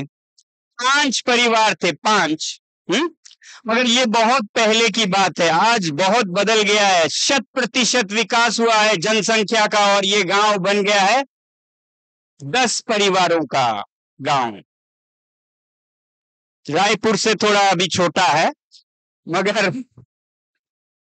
तो ऐसे छोटे गाँव में विद्यालय नहीं होते। हम्म अब सोचते हैं लोग कि विद्यालय नहीं होते, ये तो कितना बदनसीब बच्चा है। मैं किसी विद्यालय में नहीं जा पाया क्योंकि इस छोटे से गाँव में विद्यालय नहीं थे। नौ साल की उम्र तक मैं गाँव में ही रहा, मगर बदनसीब नहीं था। बाद में जब विद्यालयों की हालत देखा तो मुझे लगा यही मेरी सबसे बड़ी खुशनसीबी थी कि कोई विद्यालय नहीं था इस गाँव में। और विद्यालय नहीं था इसका मतलब ये नहीं कि मैंने सीखा कुछ नहीं। असल में लोग विद्यालयों से नहीं सीखते हैं। किससे सीखते हैं, मैं अभी आपको बताता हूँ। विद्यालय बुरे हैं तो विद्यालय का ना होना बेहतर है। हुँ? अच्छे विद्यालय हैं तो बहुत अच्छी बात है, ना हो तो ना होना ही बेहतर है। इसीलिए मार्क ट्वेन ने आपने सुना होगा, कहा था I have never allowed my schooling to interfere with my education मैंने अपनी स्कूलिंग को अपने शिक्षा में बाधा नहीं बनने दिया तो जब विद्यालय अच्छे नहीं होते हैं तो वो बाधक बन सकते हैं और यही शायद होता मेरे साथ भी। तो नौ साल की उम्र तक मैं बिना विद्यालय के खेतों में घूमता रहा, पेड़ों पे चढ़ता रहा, सिंधु नदी में डुबकी लगाता रहा, किसान के पीछे तो कभी जानवरों के पीछे दौड़ता रहा और अपनी माँ से सीखी मैंने मातृभाषा में जो सीखा और उसका मुझे बहुत बहुत गर्व है कि मैंने अपने माँ से अपनी मातृभाषा में सीखा और ये आजकल के लिए एक बड़ा ही दुर्लभ लग्जरी बन गया है हाँ? कि अपनी मातृभाषा में सीखने का अवसर विरले ही बच्चों को मिलता है, वरना बच्चे तो कहीं इस भाषा में, कहीं उस भाषा में मातृभाषा को छोड़ के फिर वो प्रकृति से वो संपर्क नहीं बना पाते हैं। मेरा ये मानना है, जैसे बच्चे के लिए माँ का दूध बहुत ज़रूरी है, वैसे ही मातृभाषा बहुत ज़रूरी है। अगर आपके मस्तिष्क का विकास होना हो शरीर का विकास माँ के दूध से हो तो मस्तिष्क का विकास मातृभाषा से होगी। और गर्व कीजिए, अगर आप अपने मातृभाषा में बोलते हैं, सीखते हैं अच्छा ज्ञान अर्जित करते हैं तो ज़रूरी नहीं है कि हम किसी अंग्रेज़ी में या किसी में सीखें। सबसे अच्छे उत्तीर्ण मस्तिष्क शुरू करते हैं अपनी मातृभाषा में। फिर जब अपनी मातृभाषा की नींव मज़बूत हो तो भाषाएँ यो सीख सकते हैं आप, बहुत जल्द। जब आपकी अपनी नींव मज़बूत हो तो तो नौ साल तक मैं कोई भाषा नहीं बोलता था, सिर्फ़ अपनी मातृभाषा लद्दाखी। मगर उसके बाद जब सीखने लगा आगे चलकर तो कोई नौ भाषाएँ बोलने लग गया हम्म? हर छह महीने में एक नई भाषा मैं सीख पाता था, छह महीने से एक साल में। तो आप भी अगर आप अपने मातृभाषा पे गर्व करते हैं अपने अ, आप वो स्वाव क्या कहते हैं? स्वाभिमान है अपनी भाषा पर वो हिंदी हो या कोई भी भाषा हो और फिर उस उस कॉन्फिडेंस से दुनिया की तरफ़ बढ़ते हैं तो भाषाएँ सीखने में समय नहीं लगता। उन नौ भाषाओं में से आधे तो मैंने चालीस के उम्र के बाद सीखे। और लोग कहते हैं, हम बूढ़े हो गए, तीस से ज़्यादा, अब कहाँ भाषा सीखेंगे? आजकल मैं चीनी भाषा सीख रहा हूँ। आज सुबह मैं क्लास कर रहा था चीनी भाषा का। तो सीखते रहने में और देर भी नहीं लगती अगर आप अपने नींव को मज़बूत रख पाते हैं। तो तो इस गाँव में मैं प्रकृति से सीखने लगा। किसानों से सीखने लगा और उसके बाद जब मुझे ले जाया गया स्कूलों में तो वो मेरा पहले दो तीन साल सबसे जीवन के मुश्किल साल थे, अंधकार के साल थे। मुझे कोई भाषा नहीं आती थी तो मेरे शिक्षक सोचते थे, ये तो मंद बुद्धि का है। शायद था भी। मंद बुद्धि का है और मुझे रखते थे कक्षा में सबसे आखिरी बेंचेस पर। जब मैं विद्यालय गया तो आप समझ सकते हैं मैं कितना खुश नसीब था कि मेरे गाँव में कोई विद्यालय नहीं था। और मैं हैरान होता रहता था, ये क्या लॉजिक है? ये क्या समझ है कि जो कमज़ोर है उसे आप पीछे रखो दूर शिक्षक से तो क्या जादू है वो समझ जाएगा। और वो पीछे के बेंचों पे तब रखते थे जब मैं खुश नसीब था। ज़्यादातर तो मैं बाहर के दरवाजे के बाहर खड़ा रहता था। मगर आज मैं उसका भी खुशी मनाता हूँ, क्योंकि that was the only way standing student outstanding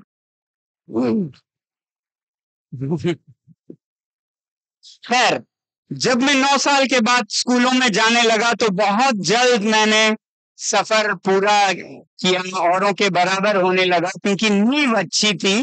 तो आगे चलते हैं, इस बच्चे को खेतों से सीखने के बाद जो मेरी शिक्षा थी, वो कैसे हुई? क्लासरूम और स्कूल तो थे नहीं तो क्या था मेरे, मेरा शिक्षा? ये खुद ब खुद क्यों चला जाता है? कुछ ज़्यादा ऑटोमेटिक है। आपके यहाँ का digital technology very advance very fast very fast I am slow so please let's keep pace तो क्या था मेरा स्कूलिंग ये मैं बांटने आया। मैं युवक युवतियों से बांटना चाहता हूँ कि अगर आपको जीवन में प्रॉब्लम सॉल्वर बनना है प्रॉब्लम सॉल्वर इंजीनियर तो ठीक है डॉक्टर तो ठीक है प्रॉब्लम क्रिएटर नहीं प्रॉब्लम सॉल्वर तो क्या ज़रूरत पड़ती है? वो मेरा विद्यालय था। ये मैं सोचा आपको याद दिला दूँ कि व्हाट वाज माय स्कूल मेरा अपना तो माई स्कूल है थ्री पिलर्स तीन स्तंभ थे। वो तीनों मैं आपको बताना चाहता हूँ, ताकि आप भी शायद उससे लाभान्वित हो। तो पहला पिलर था क्यूरियोसिटी जिज्ञासा। आपको कक्षा और शिक्षक और बिल्डिंग्स नहीं, सबसे पहला पिलर जो है वो क्यूरियोसिटी चाहिए, जिज्ञासा। आप में जिज्ञासा हो तो बड़ा विद्यालय तो छोड़िए, विद्यालय हो ही नहीं तो भी आप सीखेंगे। और आप में जिज्ञासा नहीं हो, जिज्ञासा आपकी मर गई हो तो दुनिया के सबसे विद्यालय बड़े हो या सबसे अच्छे प्रोफेसर हो, उनसे भी आप कुछ नहीं सीखेंगे। तो ये जिज्ञासा क्यूरियोसिटी वो सॉफ्टवेयर है learning software world's best learning software जो कि हार्डवेयर पे प्री आता है। हर बच्चा जो कि हार्डवेयर है, उस पे ये सॉफ्टवेयर चढ़ा हुआ आता है जब वो दुनिया में आता है। और इसलिए मैं कहूँगा, आप अपनी जिज्ञासा को बरकरार रखिए, कभी खोने नहीं दीजिए। बहुत होते हैं। अभिवाहक भी बहुत बार अपने बच्चों की जिज्ञासा तोड़ देते हैं। स्कूल तो जिज्ञासा टूट जाती है तो इस जिज्ञासा को आप बनाए रखिए। दूसरा है एम्पथी, सहानुभूति। हमदर्दी और क्या कहते हैं? संवेदना संवेदना। औरों के दुख दर्द को एहसास करना, ये बहुत बड़ा एक स्तंभ है। प्रॉब्लम सॉल्वर बनने के लिए आपको टेक्नोलॉजी और आपको जीनियस से ज़्यादा आप में संवेदना होनी चाहिए औरों के दुखों के ऊपर और ये सिर्फ़ अच्छे इंसान या कोई सामाजिक हस्ती बनने के लिए नहीं, आप अगर बिज़नेस भी चलाना चाहें, व्यापार भी करना चाहें तो बिना एम्पथी के अच्छा व्यापार नहीं कर पाएँगे। सबसे अच्छे व्यापार दुनिया में वो रहते हैं जिनकी बुनियाद संवेदना पर होती है, सहानुभूति पर कि लोगों की समस्या मैं कैसे हल करूँ। उसका आप व्यापार करेंगे तो आपको कोई फिर प्रचार प्रसार की ज़रूरत नहीं होगी। तो ये एम्पथी हमेशा बनाए रखिए। ये दूसरा मेरे विद्यालय का स्तंभ है और तीसरा स्पिरिट ऑफ़ इनिशिएटिव वो नीचे दब गया है। स्पिरिट ऑफ़ इनिशिएटिव पहल करने की जो फितरत है कि मैं हाथ पे हाथ धरे, कोई कर लेगा, खुद को क्यों ज़रूरत है, कोई कर लेगा, वो कर लेगा, ये कर लेंगे टीचर्स कर लेंगे, नहीं, मैं करूँगा तो मेरे साथ सब आएँगे। कोई आपके विद्यालय में यहाँ कुछ टूटा है, कुछ बिगड़ा है, किसी का इंतज़ार करके खुद करने निकल जाए, उसमें स्पिरिट ऑफ़ इनिशिएटिव है। ये तीन अगर हो तो आप दुनिया को बदल सकते हैं। तो ये थे मेरे स्कूल के तीन स्तंभ, क्योंकि समय ज़्यादा नहीं है, मैं इसके विस्तार में नहीं जाऊँगा। क्योंकि इनिशिएटिव हो तो एक्शन लेते हैं आप एक्शन लेते हैं तो आपको अनुभव होता है एक्सपीरियंसेस और एक्सपीरियंसेस हो तो कॉन्फिडेंस खुद ब खुद आ जाता है। और अगर आप में कॉन्फिडेंस हो एक्सपीरियंस का एक्शन का तो फिर सक्सेस एक बाय प्रोडक्ट है। आप चाहे ना चाहे सक्सेस खुद ब खुद आता जाएगा।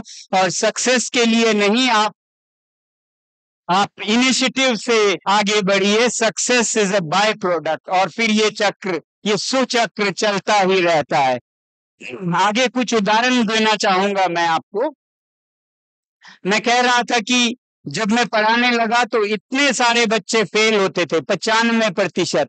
तो मैं शिक्षा में बदलाव लाने के लिए लद्दाख वापस गया। ये नहीं चल रहा।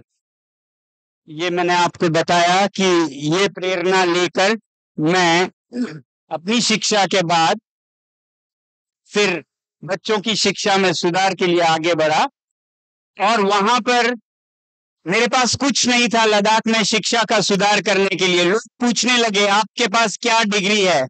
क्या आपने पीएचडी की है? या क्या आपके पास फंड है? साधन है कि आप एक्सपर्ट्स को कंसल्टेंट्स को पीएचडी को जुड़ पाए। मेरे पास कुछ नहीं था शिक्षा की प्रणाली को बदलने का, मगर मैंने देखा मेरे पास क्या है। क्या नहीं है उस पर रोने के बजाय, क्या है उसे ढूंढना सीखिएगा।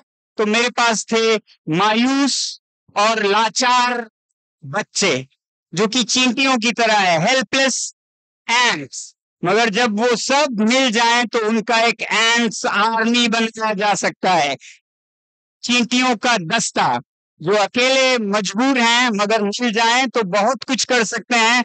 जो कि वो एक्सपर्ट्स वो पीएचडीज भी नहीं कर पाते। अगला स्लाइड नहीं चल रहा है।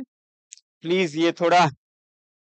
तो ये जो लाचार मजबूर बच्चे थे, जो फेल हो चुके थे, मैंने कहा ना आपको, पचानवे प्रतिशत फेल होते थे, वो सब मिलके वो कर पाते थे जो कभी पीएचडी ना कर पाए। उन्होंने नाटक, संगीत के द्वारा लोगों में जाकर गाँव गाँव में जाकर ऐसे अभियान छेड़े, अपने गीतों से, अपने भाषणों से, अपने नाटकों से, और फिर धीरे धीरे लोगों की मानसिकता बदलने लगी। जब लोग जो कि चावल और मिट्टी तेल और पैसा मांगते थे नेताओं से, वो अब शिक्षा मांगने लगे। सब शिक्षा मांगने लगे और लोकतंत्र में जो जनता चाहती है, वैसा ही सरकार बन जाता है। लीडर्स लीड नहीं करते हैं, लोग लीड करते हैं उनकी प्रायोरिटीज तो लोगों की प्रायोरिटी बदल दी इन लाचार बच्चों ने अपने हुनर से, जिससे कि ये एक लोगों में अभियान बना कि अब शिक्षा चाहिए। कोई भी मंत्री आकर कहते थे, हमें ना राशन चाहिए, ना सब्सिडी चाहिए, हमें अच्छी शिक्षा चाहिए। और देखते ही देखते लोकतंत्र काम करने लगा और एक परियोजना शुरू हुई जिसे ऑपरेशन न्यू उम्मीद, न्यू होप, नई उम्मीद की अभियान। और फिर उससे क्या हुआ? ये नहीं चल रहा है आपका। अब सारे पुस्तकें बदल दिए गए पूरे पर्वत पर्वतीय राज्य में, जहाँ पुस्तकें दिल्ली से आती हैं, जो लद्दाख के बच्चों को समझ नहीं आती तो वो सब बदल कर लद्दाख के संदर्भिक बनाया गया, शिक्षकों को प्रशिक्षण दिया गया, बच्चे जा जाके दुनिया बदलने लगे। कैसे दसवीं के परीक्षा के नतीजे बदलने लगे? पहले पचानवे प्रतिशत फेल फेल होते धीरे धीरे जाकर पचहत्तर प्रतिशत पास होने लगा। तो success is a by product hmm तो फिर हमने ये कहा कि फेल कोई नहीं होता है। हमें मैं थोड़ा तो जो 25 प्रतिशत अब फेल हो रहे थे, हमने कहा कि हम उनके लिए करेंगे। 75 पास हो गए, वो तो ठीक है। अब हम जो बच गए 25 प्रतिशत, जो कि बहुत कम है, मगर उनमें भी कोई फेल नहीं है तो उनके साथ काम करने लगे एक नया स्कूल बनाकर, जिस स्कूल का बहुत ही अलग सा सोच है। यहाँ पर एडमिशन क्राइटेरिया आपके मार्क्स नहीं है। यहाँ पर admission criteria is that you have failed in the system तो आपको एडमिशन आसानी से मिलेगा। बहुत डिस्टिंक्शन ले लिया है तो आप वेटिंग लिस्ट में हो सकते हैं, ठीक है? वरना एडमिशन फेलियर्स को मिलता है। तो मैं ज़्यादा टाइम ना लेके जल्दी ले जाना चाहूँगा, मगर ये चल नहीं रहा है। यहाँ पर एक्सपीरियंशियली अनुभव से सीखने की कोशिश करते हैं, जो स्थानीय शासन है सिविक्स है मैनेजमेंट है, वो बच्चे स्कूल को कंट्री की तरह, एक देश की तरह चलाते हैं, जिसमें संसद है, चुनाव होते हैं, सरकार बनती है, वो बच्चे पूरे स्कूल को चलाते हैं, सच में चलाते हैं, बड़े पीछे रहते हैं, और वो सरकार कैसे बनता है मैनेजमेंट प्रबंधन सब जीवन की जो स्किल्स हैं, कौशल हैं, वो सब करते करते सीख जाते हैं जैसे यहाँ पर गाय हैं तो उनका पूरा रख रखाव वो बच्चे करेंगे। जो लेंसेज मिरर्स की बात की थी ना, वो स्कूल में बहुत प्रयोग होता है। खाना बनाया जाता है सूरज की ऊर्जा से लेंसेज और मिरर्स से। वैसे ही बच्चे बगीचे उगाते हैं पावर प्लांट चलाते हैं ग्रीन हाउस में सब्ज़ियाँ चलाते उगाते हैं। तो यहाँ के सरकार उन सब का ध्यान रखती है। और यहाँ पर सूर्य ऊर्जा से हर चीज़ चलता है, जैसे कुकिंग हुआ मिनरल्स के साथ greenhouses natural lighting electricity pumping of water यहाँ तक कि गाय भी सोलर हीटेड गौशालाओं में रहते हैं। ये नब्बे के दशक से चल रहा है, जबकि सोलर एनर्जी बहुत कम लोग जानते थे। तो आगे चलते हैं हम। इस विद्यालय में बच्चे करते करते जो सीखते हैं, वही उनका जीवन यापन का तरीका बन जाता है। जैसे जो एपिकॉट्स के साथ सीख रहे थे, वो एपिकॉट ऑन्टरप्रनर्स बन गए, जो विस्पस पे दिखाने एंटरप्रेन्योर्स बन गए। और मैं को एक आखिर में एक सवाल के साथ छोड़ना चाहूँगा। मैं कुछ लद्दाख के जो यूथ आइकन्स हैं, उनकी तस्वीरें बताऊँगा और एक सवाल पूछूँगा। यूथ आइकन्स में से एक है रिगजिन जो कि लद्दाख के एजुकेशन मिनिस्टर बने 27 साल में। तो ये रिगजिन है और ये है स्टैंजिन ये हर कॉन्टिनेंट में फ़िल्म मेकर की तरह पुरस्कार जीत चुके हैं, चाहे वो यूरोप में हो, अमेरिका में हो, एशिया में हो। उसी तरह ये थिनलेस हैं। इन्होंने राष्ट्रपति जी से नारी शक्ति, सम्मान पाया और एंटरप्रनर है ट्रेवल में। अब लोग पूछते हैं, इनमें क्या समानता हो सकती है? क्या ये बड़े बड़े विद्यालयों से आए या बड़े परिवारों से आए? तो समानता इनमें है। ये ये सब बार बार दसवीं में फेल हुए। हम्म बार बार वो जो रिग्जिन जी हैं तो पाँच बार दसवीं में फेल होके आए थे स्कूल में। और फिर चमत्कार होने लगा जब उनकी सोच और उनका जो हौसला है, वो बदलने लगा तो सब कुछ बदलने लगा। और ये चार बार फेल हुए थे, ये तीन बार फेल हुए थे। तो मैं ये कहना चाहता हूँ कि जब आपका हौसला बुलंद हो, आप जो कर रहे हैं, उससे खुश हो। चाहे आप जो चाहते थे, वो पाया है। या जो पाया है, उसको चाहना शुरू किया। तो आप तो आप जो पाँच बार फेल हुए, तीन बार फेल हुए, वो भी सितारे बन जाते हैं।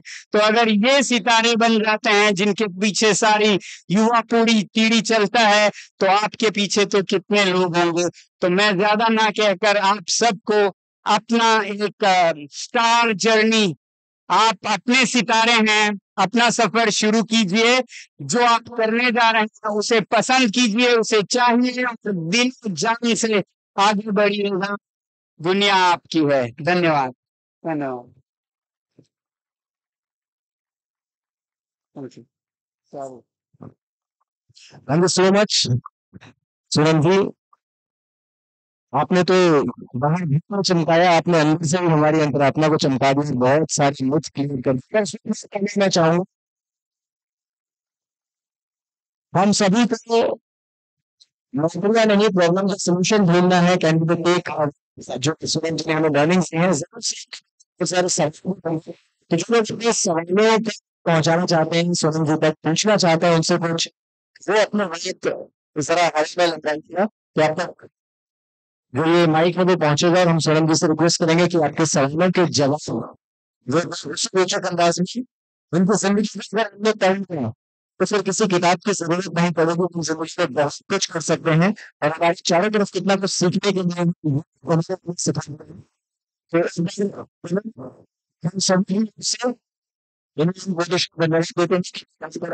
हम सब learning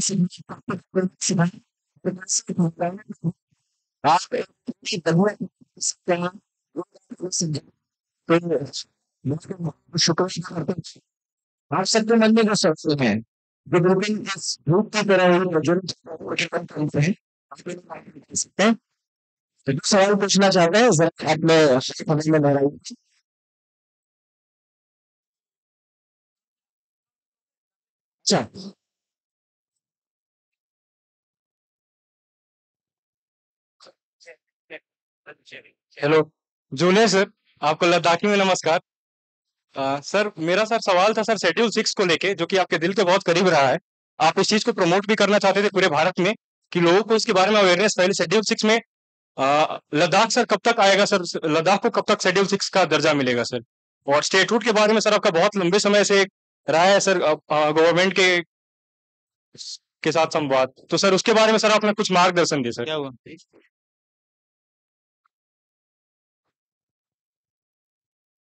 hello.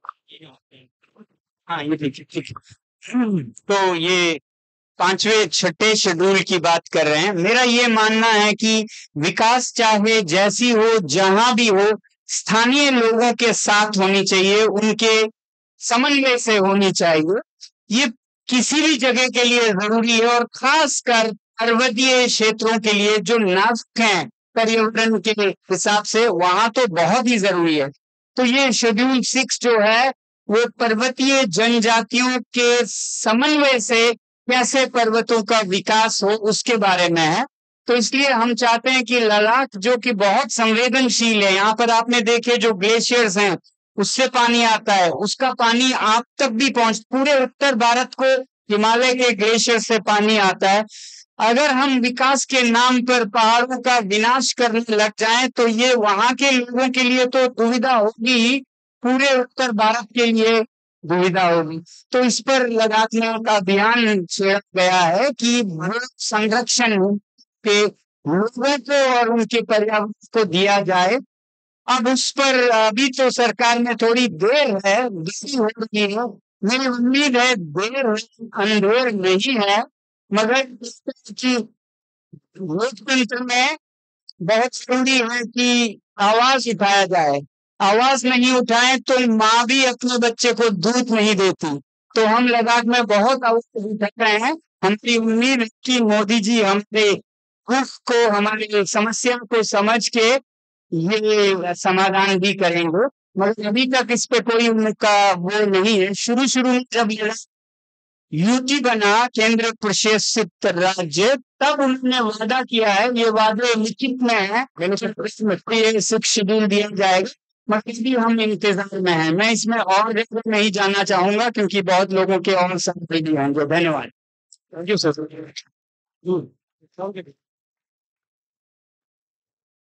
hello sir sir मेरा क्वेश्चन था कि ओके, कि आप सब बताए थे कि स्कूलिंग को लर्निंग में इंटरफेयर नहीं करना चाहिए। लेकिन जब पता कैसे चलेगा कि स्कूलिंग लर्निंग में इंटरफेयर कर गया है और जब इंटरफेयर कर गया है तो उसके लिए क्या कर सकते हैं आगे? दुआ तो ये हो कि स्कूलिंग ही लर्निंग हो लर्निंग स्कूल में ही हो, दुआ ये है।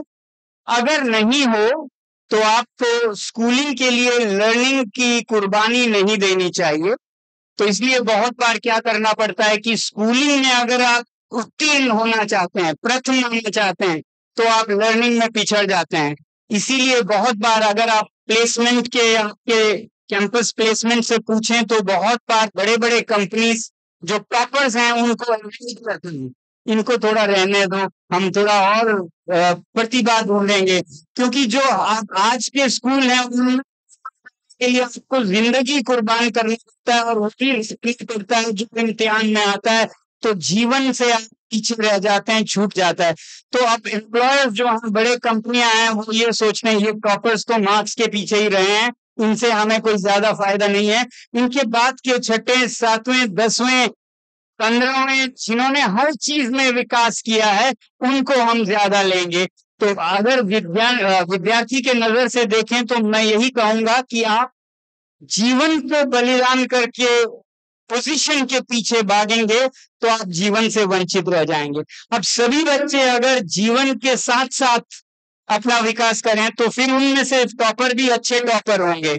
अब सब कुछ छोड़ के सिर्फ़ टॉप करने में लग जाए तो आपका नुकसान बहुत हुआ होगा। अच्छी बात तो ये होगी कि आपका विद्यालय आपका इंस्टीट्यूट ऐसा है कि जिसमें जीवन और शिक्षण दोनों साथ मिलके जाता हो ताकि दोनों का विकास हो thank you sir hello Julie, sir sir, I'm Vipul Kumar of second semester, Advanced Computer sir आपको यहाँ आने से पहले मैंने आपको बहुत से डॉक्यूमेंट्री देख रखे थे। उसमें आपने सरहद पर सुरक्षा से ज़्यादा शिक्षा को जोड़ दिया था। आप हमेशा सरहद पर शिक्षा शिक्षा की बात फैलाते रहे और शिक्षा को अलग जलाए भी हैं सर आपकी सर बात इनोवेशन की करें तो आपने एक बहुत बेहतरीन एक इनोवेशन हमको दिया, आइस स्तूपा के तौर पर जो कि एक लद्दाख में सबसे बड़ा अब तक आविष्कार हो गया है, सर। जो कि क्लाइमेट परिवर्तन के कारण ही ऐसा आविष्कार हो पाया है। सर नॉर्थ इंडिया के को ईस्टर्न इंडिया साउथ इंडिया के बारे में क्लाइमेट परिवर्तन की अगर हम बात करें तो किस टाइप के इन्वेस्टमेंट हम लोग कर सकते हैं या क्लाइमेट परिवर्तन के बारे में कर सकते हैं सर मेरे शिक्षा की सोच का मूल ही यही है कि स्थानीय लोग स्थानीय समस्याओं का समाधान करें। लद्दाख की समस्याओं को कोई रायपुर से नहीं समझ पाएगा या आंध्र प्रदेश से नहीं समझ पाएगा, उसे लद्दाख के लोग ही समझेंगे और भली भांति हल भी कर पाएँगे। तो उसी तरह लद्दाख का एक पहाड़ी छत्तीसगढ़ की समस्याओं को नहीं समझ पाएगा कि वो समाधान लेने लग जाए। तो अगर लद्दाख से आप कुछ लेना चाहें तो ये ये नहीं लें कि लद्दाख का कोई यहाँ का भी समस्या का समाधान कर देगा। ये सीख लें कि छत्तीसगढ़ के ही लोगों को समाधान करना है। इस लद्दाख के आदमी को भूल जाओ, मैंने करना है। आप ये सीख के जाएँ तो छत्तीसगढ़ का बहुत भला होने वाला है।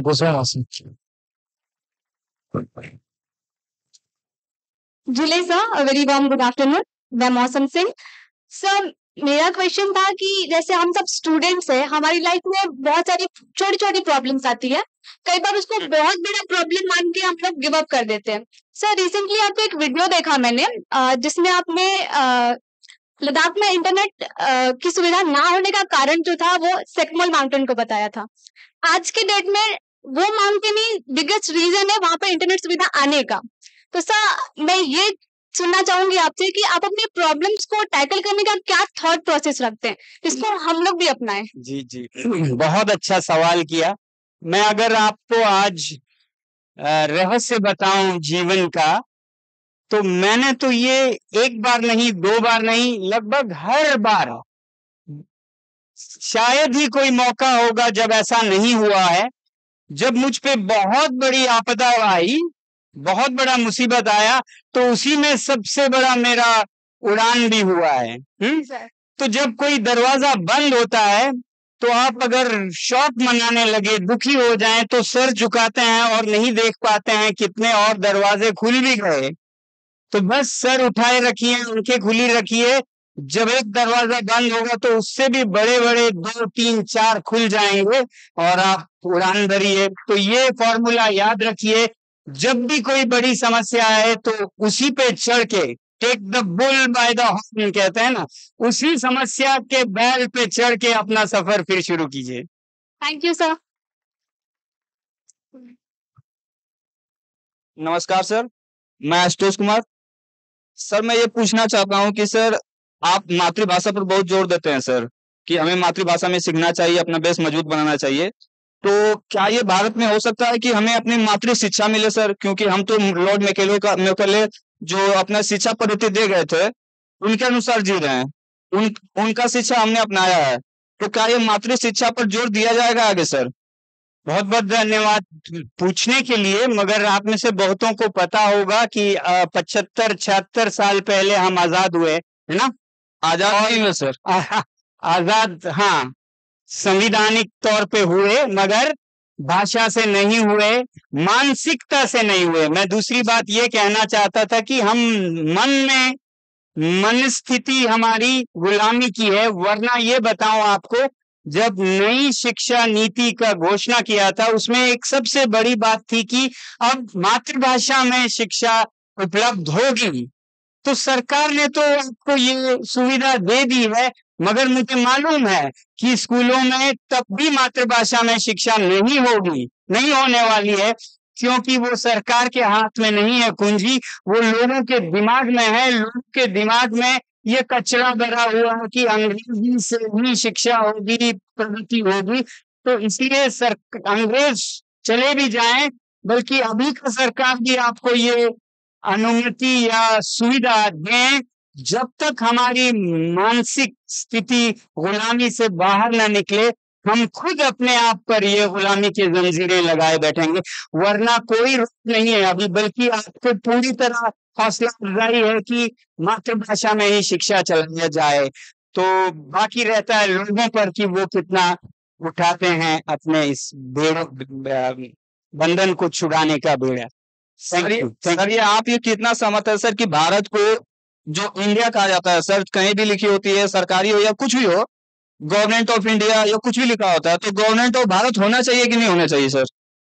नाम में क्या रखा है? काम को देखिए। नहीं सर वो हमारी संस्कृति से नाम में कुछ नहीं रखा है। भारत भी सबसे बुद्धू देश बन जाएगा। इंडिया भी बुद्धू देश बन जाएगा अगर हम नाम पे झगड़े करते रहें और काम कुछ ना करें।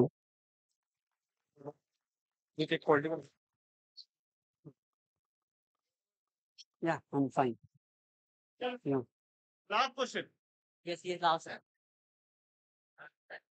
मैं पूछूँ हाँ सर तो क्वेश्चन मैं पूछ सकता हूँ sir good afternoon sir first of all sir मेरा क्वेश्चन ये है सर जैसे कि सर हम लोग जानते हैं अगर सर मुझे मैराथन दौड़ना है तो सर उसके लिए मैराथन को जीतने के लिए सर हमें कछुआ नहीं, कछुआ बनना होता है, ना कि खरगोश तो सर, मैं आपसे एक छोटी सी गुजारिश करूँगा, सर। जैसे कि अभी हम लोग फ़र्स्ट ईयर स्टूडेंट हैं, और सर, हमारे पास चार साल बहुत टाइम होता है, सर। तो आप हमें क्या सजेशन दे सकते हैं, ताकि एक हमारे अंदर एक वो कछुआ का क्वालिटी हमारे अंदर आ जाए, और हमने जो गोल अचीव मतलब गोल जो हम लोगों ने सेट किया है उस गोल को डेडिकेशन के साथ कैसे अचीव करेंगे सर इस टॉपिक पे सर आप हमें क्या सजेशन देंगे सर धन्यवाद। मैं तो कहूँगा आप कछुआ भी ना बने और खरगोश भी ना बने दोनों अति हैं। कछुआ बहुत धीरे चलता है उतना धीरे भी मुझे नहीं चलना है। सर खरगोश तो दौड़ता है सो जाता है। मैं तो खुद बनना चाहता हूँ जो मध्यम मार्ग लेकर है तेज भी चलता हूँ और निरंतर भी चलता हूँ। वो ध्यान रखिएगा आप। थैंक यू बहुत बहुत धन्यवाद। बहुत बहुत धन्यवाद। सोनम वांचुक जी और बहुत धन्यवाद आप सभी के सवालों के लिए कि और बहुत सारी जो परतें हैं वो खुली के सामने आ गई हैं। और बस यही कि अगर अपने आप को हमने समझ लिया अपनी इच्छाओं को जान लिया तो ज़िंदगी में जो कुछ भी हासिल करना चाहते हैं वो हम हासिल कर सकते हैं। हम किसी समस्या को समस्या की तरह देखते हैं या चुनौती की तरह देखते हैं, ये हमारे माइंडसेट का खेल है। और जो सोनम जी की बातचीत हमने सुनी, जो उनकी ज़िंदगी तो सबसे उनकी कहानी सुनी है तो हम इंस्पायर हो गए हैं। और विश्वास किया है कि ना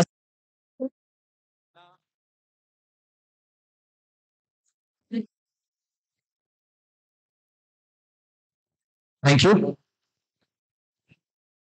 बस यही कहेंगे कि न आसमां से न ज़मीन से निकलेगा, हमारे पाँव का कांटा हमी से निकलेगा। बगड़ में जो एड़िया मुझे सरदार वतन में जानता हूँ, पानी वहीं से निकलेगा। सोनम तो तो प्रोग्राम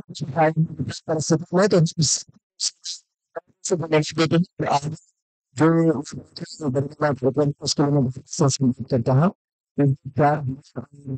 कारण तो उनका करता है। है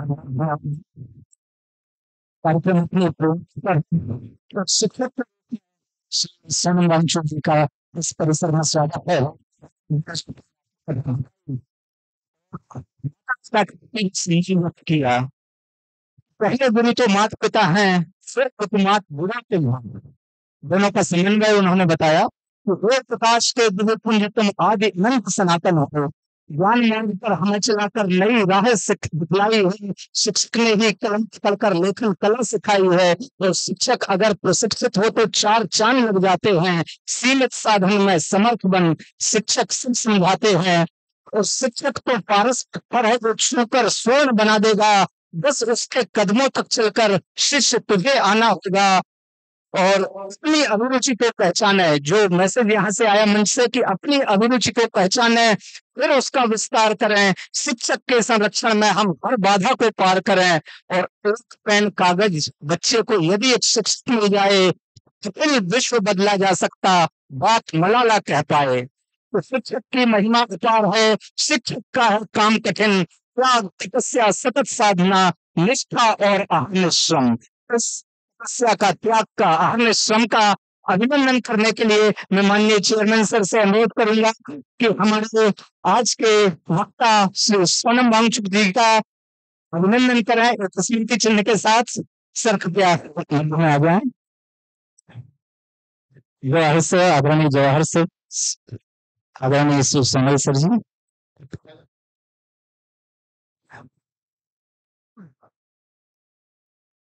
ये ये अनुग्रह के भाव। हृदय की गहराइयों से आपका स्वागत है, अभिनंदन है।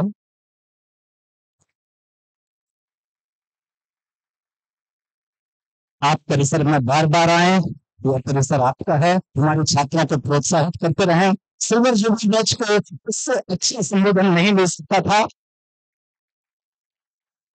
मैं चेयरमैन सर से पुनः अनुरोध करूँगा। कि श्री आर वी अनिमेश जी का भी मोमेंटो से स्वागत करें अभिनंदन करें। छत्तीसगढ़ मैतारी तो सपोर्ट आपका अभिनंदन है। आप जो छात्रों में ऊर्जा का संचार करते हैं जो लोकप्रियता हासिल की है आपने अद्भुत है।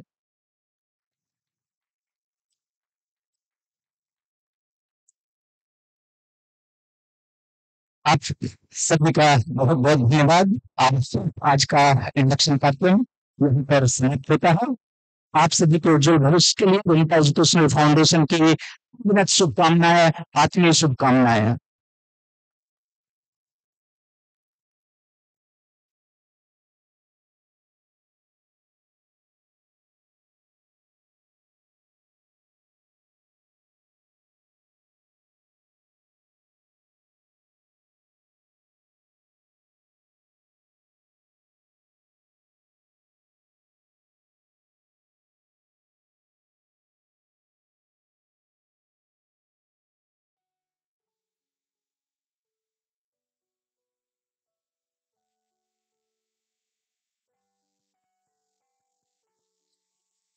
Check